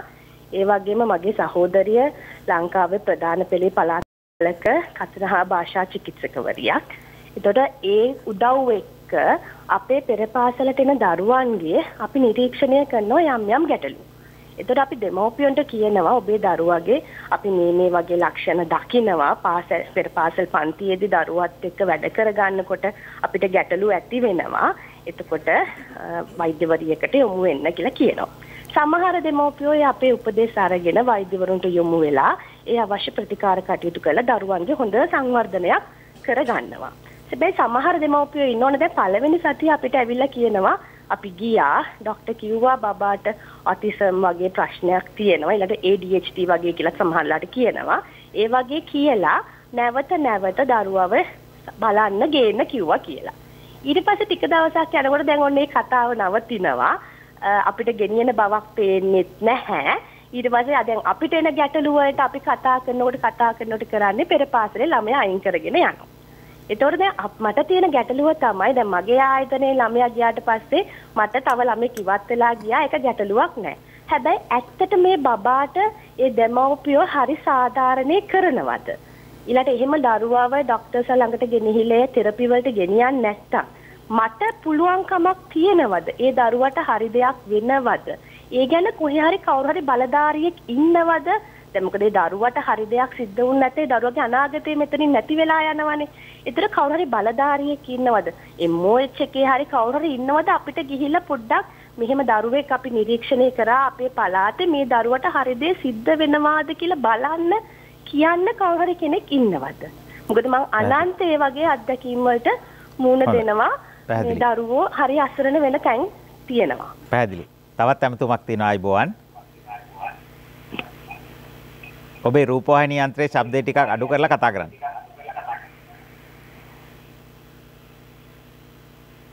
අපට ඇහෙන්නේ නැහැ. හෙලෝ. ඔව් කතා කරන්න. මම මේ කතා කරන්නේ ડોක්ටර් ගැමුණු හේවතන මහත්මයාට. මේ මම කලින් ડોක්ටර්ගෙන් මේ බෙහෙත් ගත්ත අපේ දරුවට දැන් අවුරුදු 11ක් වෙනවා දරුවට. කලින් අවුරුදු 4මාරක් වෙනකම් දරුව කොහොමත්ම කතා කරේ නැහැ. නමුත් ડોක්ටර්ගේ උපදේශ පරිදි බෙහෙත් ගත්ත නිසා ඒ ක්‍රියාකාරකම් කරන නිසා දැන් දරුවා සාමාන්‍ය පාසලක ගිහිල්ලා දැන් ලකුණු 24ක 27 ලකුණු මට්ටමක ඉන්නවා. ડોක්ටර් දැන් තියෙන තත්ත්වය තමයි දරුවට එයාට රූප සටහන් ඇඳීමේදී අපි කියමු කාසියක් අතේ තියාගෙන වටේ රූපය ඒ ඒ ඒක අඳින්න හැකියාව නැහැ. ඒක නත් දෙකෙන් එකවර කරන්න හැකියාව නැහැ. ඒ වගේම රේකීය වැඩ කලාත්මක රටාවන් අඳින දේවල්. එතකොට ගණිත වැඩ කරනකොට එයාට ඉලක්කම් දෙක තුන දෙක ඉලක්කම් දෙක වැඩි කිරීම කරන්න පුළුවන්. එක පෙළ ඉලක්කම් තුනේ තේල් දෙකක් ආවොත් එයාට ඒක පැටවෙනවා මේ උඩ සංඛ්‍යාව සහ පහ සංඛ්‍යාව. අර ඒ වගේ පැටලි සහගත තත්ත්වයක් තාම තියෙනවා. මට දැනගන්න ඕන මේ මේ වෙලාව වෙනකොට කරන්න පුළුවන් මොන වගේ ක්‍රියාකාරකම් සහ මොනවා හරි බෙහෙත් ඒවට තියෙනවද? නැත්නම් නැත්තම් හොඳයි. මොනවද අපි කරන්න ඕන කියලා දැනගන්න ඕනේ. පැහැදිලි. හොඳයි. ප්‍රශ්න ගණනාවක් තියෙනවා වගේ. තව අවස්ථාව දුන්නොත් තවත් එනවා. අපිට එළි වෙනකන් දරුමල්ලා කතා හැබැයි වටින අදහස්. ඒ අම්මා තාත්තා ඒගොල්ලෝ අහන ගුරුවරු අහන ප්‍රශ්න හරහා සමාජයට දැනුමක් දෙන්න අවස්ථාවල. ප්‍රශ්න කියන එක හොඳයි. අපි ඒකට වේදිකාවක් හදන එකත් හොඳයි මේ මාතෘකාවස්සේ කතා කරද්දී. ආචාර්ය නිමිෂා මුත්තයියා මහත්මිය දෙසට මා යොමු වන්නේ ඔබ කතනහා භාෂා විශේෂඥවරියක් නිසාම දැන් සමහර සෙල්ලම් තියෙනවා කතා කළොත් පරාදයි. ඒ සමහර සෙල්ලම් තියෙනවා කතා කරොත් පරාදයි. සමහර සෙල්ලම් තියෙනවා කතා නොකර බෑ කතා නොකළොත් පරාදයි. ඒ කෑ ගහන්න ඕනේ. කෑ නොගැහුවොත් අද්ද නැතුව හිටියොත් එහෙම අවුට් කියලානේ අපි කියන්නේ ඉංග්‍රීසි කියන්නේ පරාදයි. එදා රුදින් කෑ දැන් අද අවුරුදු කාලෙට බලන්නකො හෙට අනිත් දැන් අවුරුදු වෙනවා. ඉතින් ළමයි සමහර සෙල්ලම් දෙන කෑ ගහන්න ඕන. තමන්ගේ සතුට පළ කරන්න ඕන. ඔන්න එනවා දුවපියෝ කියන්න ඕන. ඔන්න අල්ල ගනි කියන්න ඕන. මේ ළමයින්ට තමන්ගේ අදහස් සද්ද කරලා කියන්න ඕන. චූටි පුතාලත් එහෙම නෑ. ඒගොල්ලෝ සද්ද කරලා කියන ඔන්න අල්ලන්න එනවා ඔන්න මම දැක්කා ඔන්න හැංගෙන්න. ඕවා ටික කියා ගන්න ඒගොල්ලන්ට ඕන. මේ සෙල්ලම, ක්‍රීඩාව සෞන්දර්යාත්මක ක්‍රියාකාරකම් ගීත නැලවිලි ගීත මේ මෙව්ව බලපාන්නේ කොහොමද? විශේෂයෙන් දැන් මේ ආබාධ සහිත තත්ත්වයන් වල ඉන්නවනම් මේවෙන් ගොඩ එන්න. ප්‍රතිකාර විදිහට හරි මේවා යම්කිසි පිළිසරණක් තියනවාද කියලා දැනගන්න කැමතියි. අනිවාර්යෙන්. ඇත්තටම මම ඉස්සෙල්ලා කිව්වා වගේ කතනය සහ භාෂාව කියන දේ සමාජශීලීතාවය සහ සෙල්ලම ඒ තුනම එකට වර්ධනය වෙන දෙයක් සාමාන්‍ය දරුවෙක්ගේ. ඉතින් ඇත්තටම අවුරුද්දකට අඩු චූටි බබෙක්ගේ අපි ඒවට සෝෂල් රූටීන් කියලා කියන්නේ. ඒ කියන්නේ සමාජ රටා. අර මොට්ටු මොට්ටු කියලා අපි ඔළුව ගහන එක ඒ දේවල් මාර්ගයෙන් තමයි අපි මුලින්ම සමාජශීලීතාවය සහ කතනය සහ භාෂාව පටන් ගන්න. ඒ කියන්නේ වර්ධනය කිරීම. ඊට පස්සේ අපි සෙල්ලම් බඩු මාර්ගයෙන් සින්දුවක් කීම මාර්ගයෙන් ඒ එවැනි ක්‍රියාකාරකම් ඇතුළතින් තමයි අපි සංනිවේදනය එතන ගොඩනගන්නේ. ඒ කියන්නේ දෙමව්පියන්ට දැන් දරුවෙක් කතා කරන්න බෑ නැත්නම් ප්‍රමාදයක් තියෙනකොට ඒක ලොකු ගැටලුවක්. මම කොහොමද මගේ දරුවා මාර්ගයෙන් කොහොම හරි වචනයක් වාචිකව ගන්නෙ කොහොමද කියන ගැටලුව ලොකු ගැටලුවක් දෙමව්පියන්ට. ඉතින් ඒක අස්වභාවික නැත්නම් අර අන්නැචරල් දෙයක් කරන්න බැහැ රූපයක් පෙන්නලා මේක මොකක්ද ඇපල් එකක්. මේක මොකක්ද කාර් එකක්. ඒ විදිහට ගන්න බැහැ ඒක හරිම නැචරල් ස්වාභාවිකව අපි දරුවෙක් එක්ක සෙල්ලමක් මාර්ගයෙන් සින්දුවක් කීම මාර්ගයෙන් පින්තූර පොතක් එකට බැලීම මාර්ගයෙන් තමයි අපි කතනය සහ භාෂාව එතන ගොඩනගන්නේ. ඉන් අමතරව අවුරුදු දෙක තුන වෙනකොට සාමාන්‍ය දරුවන් මවාපෑම් සෙල්ලම් කියලා තමයි අපි කියන්නේ. චූටි බෝනෙක් එක්ක අරන් එයාව නලවනවා, එයාට කවනවා, එයාට සින්දු කියනවා, එයාව දොයි කරනවා. ඉතින් ඒ මවාපෑම් සෙල්ලම් ඇතුලෙන් තමයි කතනය සහ භාෂාව අපි දරුවව උත්තේජනය කරන්නේ. එයාගේ කතනය සහ බොරු සින්දු කියන්නේ නිකම් යාම හදාගන්නව නේද? එක එක තමයි. ඉතින් ඒ වගේ මවාපෑම් සෙල්ලම් කරාම ඒකෙන් සාමාන්‍යයෙන් කතන සහ භාෂා වර්ධනය වෙන්න තියෙන ඉඩ බොහොම වැඩි. එවැනි ක්‍රියාකාරකම් වල යෙදුනහම. ඉතින් මට දෙමාපියන්ට කියන්න පුළුවන් ඒ සෙල්ලම සහ සමාජශීලීතාවය සහ කතන සහ භාෂාව එකට යන දෙයක් ඒ එවැනි ක්‍රියාකාරකම් මාර්ගයෙන් තමයි අපි ඒක දියුණු කරලා ගන්න ඕනේ. මා ඒ ප්‍රශ්නේ අහන්නත් එක හේතුවක් ඔය ලෝක සමහර රටවල මා දැකලා තියෙනවා රූපරම්ද ඩොල්ෆින් වගේ දැන් සතුන් එක්ක ඇසුරු කිරීමට සලස්සලා කතන ආබාධ සහිත දරුවන්ට දැන් අර ඒගොල්ලෝ යම් යම් ක්‍රියාකාරකම් කරනවා. ඒවට මේ දරුවෝ ප්‍රතිචාර දක්වන මේ වර්ධනයක් තියනවලු. මම දුටුවා සමහර වැඩසටහන් ආදී කරලා තියෙනවා. ඩොල්ෆින් හරි දියුණු සතුනේ. ඉතින් අර දරුවොත් හරි ආසයි. ඒගොල්ලෝ එක්ක තමයි සෙල්ලම. ඉතින් අරයා පයින්නකොට මෙයා කියන කියලා වේ කියාගන්න ලොකු උත්සාහයක් දරනවා. එවැනි දේවල් ලෝකේ තියෙනවා නේද? විවිධ පර්යේෂණ ආදී කරනවා. අනිවාර්යෙන් තියෙනවා ඇත්තටම විද්‍යාත්මකව අපි හොයාගෙන නෑ දැන් වෙනකන් මේ ඔටිසම් තියෙන දරුවන්ට මෙවැනි දේවල් කරාම ඒගොල්ලන්ගේ වර්ධනයක් තියෙනවා කියලා නිශ්චිතව අපි හොයාගෙන නෑ තාම. ඒ වැනි ක්‍රියාකාරකම් මාර්ගයෙන්. විවිධ අත්හදා බැලීම් පර්යේෂණ ආදී කරනවා. දැන් මහාචාර්යතුමිය අපේ සාකච්ඡාවේ අවසාන තැනට අපි ඇවිල්ලා තියෙනවා. දැන් මේ මේ දරුවෝ ලොකු වෙනවනේ. අපි කියමුකෝ ඔය හඳුනාගෙන ප්‍රතිකාර කරලා යම් පිළියමක් යොදලා අපි ඒ தත්ත්වෙන් යම් තරමකට මුදා ගන්න. එහෙම බැරි වෙච්ච දරුවෝ ලොකු වෙනවා. වැඩිහිටියෝ බවට පත් වෙනවා. ඒතර සමාජයක් හැටියට අපිට තියෙන වගකීම මොකක්ද මේ ප්‍රජාව මේ පිරිස පිළිබඳව අප අනුගමනය කළ යුත්තේ මොන වගේ ආකල්පද අප ළඟ තියෙන්න ඕනේ කාරණාව මතක් කරන්න වටිනවා. මම මේ ප්‍රශ්නට එන්න කලින් තව පොඩි දෙයක් මතක් කරන්න කැමතියි. අපි දැන් ගොඩක් රිනවාදී දේවල් කතා කර ආටිසම් තත්ත්වය ගැන.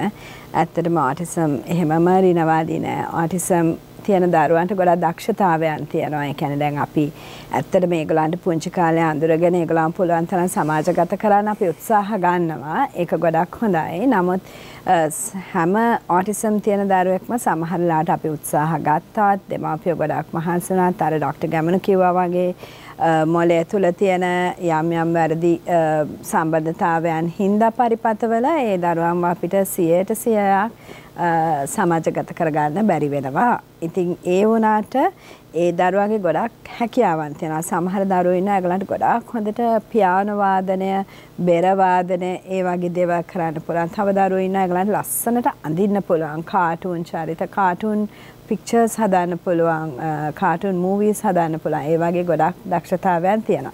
එතකොට මම චුට්ටක් එක වීඩියෝ එකක් පෙන්නනවා මෙතන මට පොඩ්ඩක් අ, දෙන්න පුළුවන්ද දන්නේ හොඳයි මේ දකි- පරිගණකය දෙන්න පුළුවන්ද? ඔව් මේ පේනවා ඔව් සරි. මේ ඉන්නේ මේ අපි ඕටිසම් තත්ත්වයේ තිබිලා අවුරුදු දෙකකින් දෙකහමාරකින් වගේ හඳුනගත දරුවෙක් දැන් මේ පේන අර ඒකාකාරී ලෙස කාරක තල්ලු කරමින් ඉන්නවා. තනිවම. කාත් එක්කවත් කතා කරන්නේ නැහැ. අම්මා තාත් අම්මයි මමයි එහා පැත්තේ නෑ නට එයා කරන්නේ කාරකේ රෝද තල්ලු කර කර ඒ රෝද කැරකෙන හැටි බලාගෙන ඉන්නක.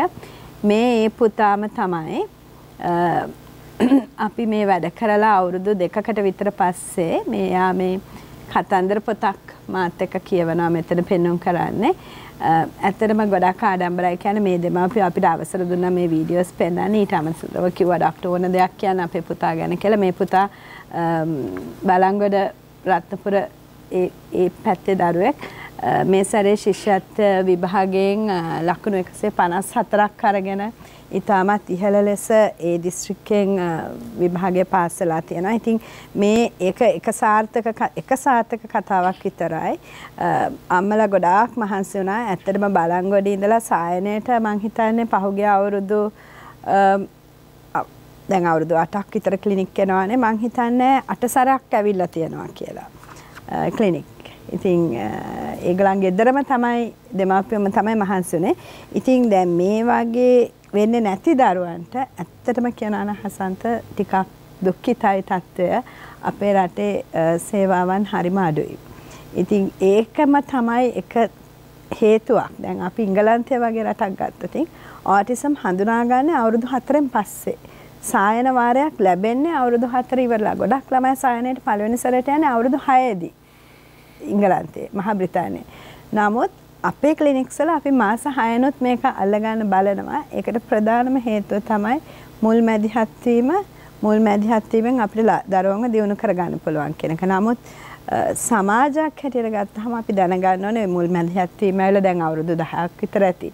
ඊට ඉස්සර ඉඳලා ඔටිසම් තිච්ච දරුවෝ ඉන්නවා. ඒ දරුවන්ට අපිට ඒ ක්‍රම වේද දෙන්න බැරුණා. මොකද ඒවා විද්‍යාත්මකව පසුව හොයාගත්ත ක්‍රම. එතකොට මේ මේ තත්ත්වයේ තියෙන පුද්ගලයන්ට යම් යම් දක්ෂතාවයන් තියෙනවා. දැන් ඉන්දියාවේ එහෙම ගොඩක් දියමන්ති කපන වගේ දේවල් ඒගොල්ලන් කරනවා. මොකද ඒගොල්ලන්ට හොඳ අවධානයක් දෙන්න පුළුවන් චූටි දේවල් වලට. අ, ඇමරිකාවේ සිලිකන් වැලි එකේ ගොඩක් ඉන්නවා software engineersලා autism තියෙන අය. එතකොට ඒ වගේ ඒගොල්ලන්ව එක රැකියාවකට පුරුදු කරලා යොමු කරලා අපිට ඒගොල්ලන්ගෙන් ගොඩාක් අ, ඒගොල්ලන්ව එකතු කරගෙන වැඩ කරන්න ඕනේ. ම- නමුත් මතක තියාගන්න ඕනේ ඒගොල්ලන්ට sannivedana අපහසුතාව තියෙනවා. ඒගොල්ලන් අපිට good morning කියන එකක් නැහැ. අපිත් එක්ක hina වෙන එකක් නැහැ. අපි අඬනකොට ඇවිල්ලා අපි ළඟ වාඩි වෙලා ඉන්න එකක් නැහැ. නමුත් ඒක කරන්න දෙයක් නැහැ. ඒගොල්ලන්ගේ හැටි. ඉතින් අපි දැනගන්න ඕනේ ඒගොල්ලන්ගේ අයිතිවාසිකම් රැකලා මොකද විශේෂ අවශ්‍යතා සහිත පුද්ගලයන්ට අයිතිවාසිකම් තියෙනවා. ඒව රැකලා අපි ඒගොල්ලන්ට සමතැනක් දීලා සමාජයේ ඒගොල්ලන්ව අපිත් එක්ක අන්තර්කරණය කරගෙන රැකියාවන් වල නියුතු කරලා ඉන්න. විශේෂයෙන්ම පාසල තුල ඒ දරුවන්ට තැනක් ලැබෙන්න ඕනි කියන එක මේ අපේ මුළු විද්වත් මණ්ඩලයම අපි එක්කලාම කියා හිතනවා හිටිනවා අපේ ලංකාවේ පාසල් සිස්ටම් එක වෙනස් කරන්න ඕනේ මේ ළමයිට සාමාන්‍ය පන්ති කර පන්ති කාමරයට අන්තර්කරණය කරන්න ඕනේ කියලා. තව ඇමතුමක් තියෙනවා ආයිබෝවන් කෙටියෙන් කිව්වොත් වටිනවා. ආයිබෝවන් හසන්ත මහත්මයා ආයිබෝවන්. අ, වි- විද්වත් සභාවට විද්වත් සභාවට මම මේ ප්‍රශ්නය යොමු කරන්න කැමතියි. මගේ යාළුවෙක් ඉන්නවා ඇමරිකාවේ. එයාගේ දරුවා ඔටිසම් තත්ත්වයෙන් යනවා.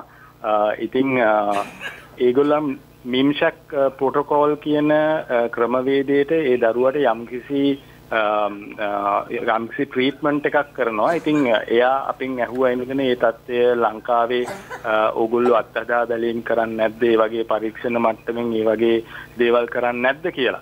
ඉතින් අ, මම දැනගන්න කැමතියි මේ විද්වත් සභාවෙන් ඒ වගේ අ, තමුන්ට ලබා දෙන යම්කිසි පෝෂණය සම්බන්ධයෙන් දේවල් වලින් මේ தත්ත්වය යහපත් අතට හරව ගන්න ක්‍රමවේදයක් තියෙනවද කියලා. හොඳයි. බොහොම සුදුසු විසඳ වෛද්‍යතුමාට යම් පිළිතුරක් තියෙනවද ඒ පිළිබඳව? ඔව් මං ප්‍රථම ප්‍රශ්නයට උත්තර දෙන්නම්. ඔව් දැන් එම ප්‍රශ්නය අහපවසන්නගේ ඇත්තටම එම දරුවා ආපහු පරීක්ෂා කරන්න නැතුව මට ඒක හරියට කියන්න බැහැ මොකද එයා ඕටිසම් වගේ තිබෙන වෙනත් කායික රෝගයක් සම්බන්ධ ප්‍රශ්නයක් වගේ තමයි මට අදහසින් තේරුනේ. එතන මෙම ගැටලුව තියෙනවා නැවත කරාපිටිය ළමා ස්නායු රෝග සායනයට පැමිණිලා ඒ සම්බන්ධව ගන්න පුළුවන්. එතකොට අනිත් ප්‍රශ්නය ඇත්තටම ඕටිසම් වලට පෝෂණ ප්‍රතිකාර ප්‍රතිශක්ති කරන ප්‍රතිකාර සමහර වෙලාවට බෝන් මැරෝ ට්‍රන්ස්පලට් ඒ වගේ පරීක්ෂණ මට්ටමෙන් තියෙන දේවල් තියෙනවා නමුත් විද්‍යාත්මකව තාම ඒවා ඔප්පු කරලා නැහැ. අනිත් එක තමයි ඕටිසම් වලට හේතු වශයෙන් දැන් සමහර වෙලාවට මම කිව්ව ප්‍රතිශක්තිකරණ පද්ධතියට අදාළ සමහර රෝගයන්ට එහෙම ප්‍රතිකාර දෙන්න පුළුවන්. නමුත් ඒක සියලුම දෙනාට නෙමෙයි. ඒ විශේෂත කණ්ඩායමකට විතරයි ඒක අවශ්‍ය වෙන්නේ. එහෙම නැතුව එහෙම ප්‍රතිශක්තිකරණ නෑ. දැන් අපි ගොඩක් කට්ටිය ඇවිල්ලා අහනවා දැන් සමහරට ඉන්දියාවේ බෝන් මැරෝ ට්‍රාන්ස්ප්ලාන්ට් කියන එක ගොඩක් වෙලාවට කරනවා ඕටිසම් සඳහා නමුත් ඒව විද්‍යාත්මකව සියලුම ඕටිසම් දරුවන්ට එහෙම තහවුරු වෙච්ච ඒවා නෙමෙයි. අනිත් එක අනිත් එක තමයි මට කියන්න පුළුවන් දැන් ඕටිසම් සම්බන්ධයෙන් ගොඩක් ලංකාවේ අපේ ගොඩක් තියෙනවා වැරදි තැන් ඕටිසම් සඳහා ප්‍රතිකාර කරන. ඔටිසම් කඩ නැත්නම් සමහර අපිට එහෙම පව කියන්නට වැරදක් නැහැ මං හිතන්නේ. සමහර වෙලාට ඒ දරුව නවත්තගෙන දවස් ගානක් එතන තියාගෙන මර්තිකන්න එහෙම කිසිම විද්‍යාත්මක භාවයක් නෑ අනිත කොටසම් දරුවන් වෙනස් එකනෙකාට වෙනස්. සමහරුට එහෙම සම්පූර්ණ දැනුමක් නැතුව සමහරට යාලගේ දරුවේ කොටසම් වෙන්න පුළුවන්. නමුත් ඒ අනුවම ප්‍රතිකාර කරන එහෙම එකක් නෙමේ ඒ ක්‍රියාවලිය ලංකා වෙච්චර සාර්ථක වෙන්න එකත් මංහිතන්න කියන්න පෙර පාසල් ගුරුතුමියත් ප්‍රශ්නයක් ඇහුවා යන්නේ කොහාටද මොකද්ද කරන්නේ කියන ප්‍රශ්නේ තමයි සමාජයේ පුරා තියෙන. ඒ වගේම මේ විශේෂ දවසක් අප්‍රේල් දෙවැනිදා නේද මහාචාර්යතුමනි? ඒක තමයි අපි නිල් ඇඳගෙන ඉන්නේ සේරමලා. මොකද්ද ඒකේ? ඒ කියන්නේ ආටිසම් වෙනුවෙන් වෙන් වෙච්ච පාට තමයි නිල් පාට. ඉතින් අපි ඔබගෙන් ඉල්ලා හිටිනවා අප්‍රේල් දෙවනදට නිල් පාට ඇඳගෙන ගිහිල්ලා ඔටිසම් තත්ත්වය වෙනුවෙන් පෙනී හිටින්න කියලා සියලු දෙනාටම. හොඳයි අපේ අවසාන මිනිත්තු කීපයේ විසඳන වතුමේ. ඔව්. දැන් මං හිතන අපි ගොඩාක් කරුණු කතා කරා මට නැවත නැවතත් කියන්න තියෙන්නේ මේ తত্ত্বය ඉක්මනින් හඳුනාගෙන ඉක්මනින් කාර්යක්ෂම ලෙස ප්‍රතිකාරකම කිරීමෙන්මයි දරුවන්ව දියුණු කරන්න ඕන. ඉතින් එතනදී සමාජයක් විදිහට අපිට ලොකු වගකීමක් තියෙනවා. කියන්නේ සමාජයෙන් මේ දරුවන්ව ඇක්සෙප්ට් කරන්න පිළිගැනීම ඉතාම වැදගත්. මොකද ළමා සහ යෝන් මනස පිළිබඳ විශේෂඥ වෛද්‍යවරයෙක් විදිහට මගේ සායනයට ගොඩාක් මහාචාර්යතුමිය පැවසුවා වගේ ටිකක් ලොකු වෙනකොට මේ දරුවන්ට සමාජයේදී සිද්ධ වෙන විවිධ ගැටලු විවිධ අසාධාරණකම් නිසා මගේ සායනයට යොමු වෙන අවස්ථා ගොඩක් තිබෙනවා. විශේෂ මං කාටවත් වරදක් විදිහට ඇඟිල්ල දික් කරනවා නෙමෙයි පාසල් පද්ධතිය තුල විශේෂයෙන් මේ දරුවන්ව ඔවුන්ට ලැබිය යුතු සාධාරණත්වය සහ ඔවුන්ට ලැබිය යුතු සමානාත්මතාවය ලැබෙනවා ඉතාමත්ම අඩුයි. ඒකම සමාජයට ගියහමත් බොහෝ අවස්ථාවල මේ දරුවන්ගේ මේ වෙනස් බව වෙනස් ලක්ෂණ වරදක් විදිහට තමයි සමාජය දකින්නේ. ඒක ඔවුන්ගේ తත්වය කියලා පිළිගන්නේ නැහැ. එතකොට ඒක වරදක් විදිහට දැකලා ලේබල් කරලා ඔවුන්ගේ හැසිරීම් වලට උන්ට දඬුවම් දෙන්න හදන අවස්ථා තියෙනවා. ඒකම අවසාන වශයෙන් මට තව පුංචි කරුණක් දෙමව්පියන්ට පණිවිඩයක් දෙන්න කැමති. මේ දරුවන් ටිකක් වයසින් ලොකු වෙනකොට හිංසනයට ලක්වීමට වැඩි ප්‍රවණතාවයක් තියෙනවා. මොකද අනිත් දරුවන්ට වගේ මේ දරුවන්ට වාචිකව තියෙන ගැටලු ප්‍රකාශ කරගන්න බෑ. ඉතින් එතකොට විශේෂයෙන් මේ දරුවන්ව හිංසනයට ලක් විශේෂයෙන් ලිංගික හිංසනය වැනි තත්ත්වවලට ලක්වීමේ ලොකු ප්‍රවණතාවයක් තියෙනවා. ඉතින් දෙමව්පියන් විදිහට ඒක ගැන වැඩි අවධානයක් යොමු කළ යුතු වගේම සමාජයක් විදිහට අපි හැමෝගෙම වගකීමක් තියෙනවා. මේ දරුවොත් සමාජයේම කොටසක්. ඉතින් ඔවුන්ව නිසි ආකාරයෙන් බාර අරගෙන ඔවුන්ට ලැබිය යුතු තත්ත්වය ඒ ආකාරයෙන් ලබා දීම. මෙහෙම දරුවෝ ඉන්න ගෙවල් වල අම්මලා තාත්තලා මුහුණ දෙන අභියෝග ගැටලු ගැන අමුතුවෙන් කියන්නට දෙයක් නැහැ. ඒකලොත් එක්තරා විදිහක සටනක් කරනවා. එතකොට ඒ අය පිළිබඳව දරුවෝ ගැන වගේම එහෙම දරුවෝ ඉන්න ගෙවල් වල අම්මා තාත්තලා පිළිබඳවත් අපි අසල්බැසියෝ ඥාතීන් සමාජයේ බලන්න ඕන විදිහක් ඒ අය දිහා සාහනශීලී ලෙස ක්‍රියා කිරීමත් ඉතා වැදගත් බව කියනවා. එයත් මානසික පීඩනයක ඉන්නවා වෙන්න පුළුවන් දරුවා පිළිබඳව. විවිධ උගත් මට්ටම් වල අයනේ ඉතින් ඒ අම්මලා තාත්තලා හැමෝම මේ හොඳට මානසික ආතතිය පාලනය කරගන්න පුහුණු වෙච්ච අය නෙමෙයි. ගැනත් අපි මතක් කරන්න ඕනේ අවසාන මිනිත්තු කිහිපය ආචාර්ය නිමිෂා මුත්තයිය මහත්මිය. ඔව් ඇත්තටම මට කියන්න තියෙන්නේ ඔටිසම් තත්වයක් තියෙන දෙමාපියෝ අහගෙන ඉන්නවා නම් සැලෙන්න එපා. උගලෝ හරියාකාරව චිකිත්සාව ලැබුවොත් දරුවාව දියුණු කළ අපිට හොඳ තත්වකට ගේන්න පුළුවන් අපි ඒක දැකලත් තියෙන අපේ අත්දැකීමුත් තියෙන අපේ සායනට ඇවිල්ලා තියෙන දරුවන්ගේ ඊට අමතරව සමහරක් දරුව කාණ්ඩයක් ඉන්න පුළුවන්. ඒගොල්ලෝ කතා කරන්නෙම නැත්නම් අපිට ඒකටත් පිළියමක් තියන්න පුළුවන්. අපේ අවාස් කියලා ඇප් එකක් අපි හදාගෙන තියෙනවා. අපේ ඒ කියන්නේ අපේ ඩිපාර්ට්මන්ට් එකෙන්. මේක මාර්ගෙන්වත් අපි දරුවන්ට sannivedanaya කරන්න උගන්වන්න පුළුවන්. එතකොට මම උදාහරණයකට එපා මට එපා. ඒ කියන්නේ දරුවා වාචිකව කිව්ව නැතුණාට අපි මේ ඇප් එක මාර්ගයෙන් මේකට අවාස් කියලා කියන්නේ මේක මාර්ගයෙන් පින්තූර මාර්ගයෙන් හරි අපිට sannivedanaya කරවන්න යම් කිසි විධික්‍රමයක් අපිට හොයාගන්න පුළුවන්.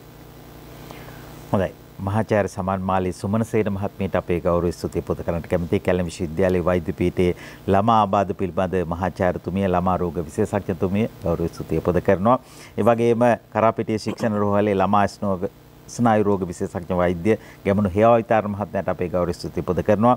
කරාපිටිය ශික්ෂණ රෝහලේ ළමා සහ යෝන් මනස පිළිබඳ විශේෂඥ වෛද්‍ය දර්ශනී හෙට්ටිආරච්චි මහත්මයාට අපේ ගෞරව ස්තුතිය පොත කරනවා. කැලණි විශ්වවිද්‍යාලයේ වෛද්‍ය පීඨයේ ජ්‍යෙෂ්ඨ කතිකාචාර්ය ආචාර්ය නිමිෂා මුත්තయ్య මහත්මියට අපේ ගෞරව ස්තුති පද කරන කතන හා භාෂා විශේෂඥතුමියට නැවතත් දොරමඩලාවෙන් හමු යමු ආයිබෝවන් ඇසිදිසි සරසවි පින්දින දොරින් දොරට දොර මඩලාවයි. මාගේ මව්බිම අවදි කරන හඬ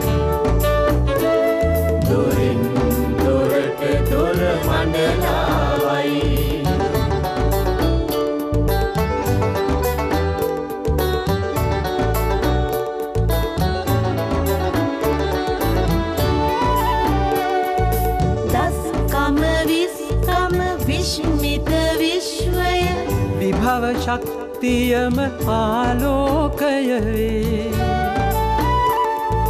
हर बर पह बर शुभ बर दिवि मग विकसित मनसम प्रभात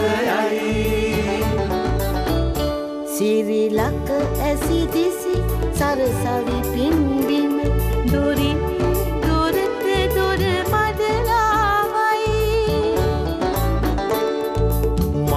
මගේ මව්.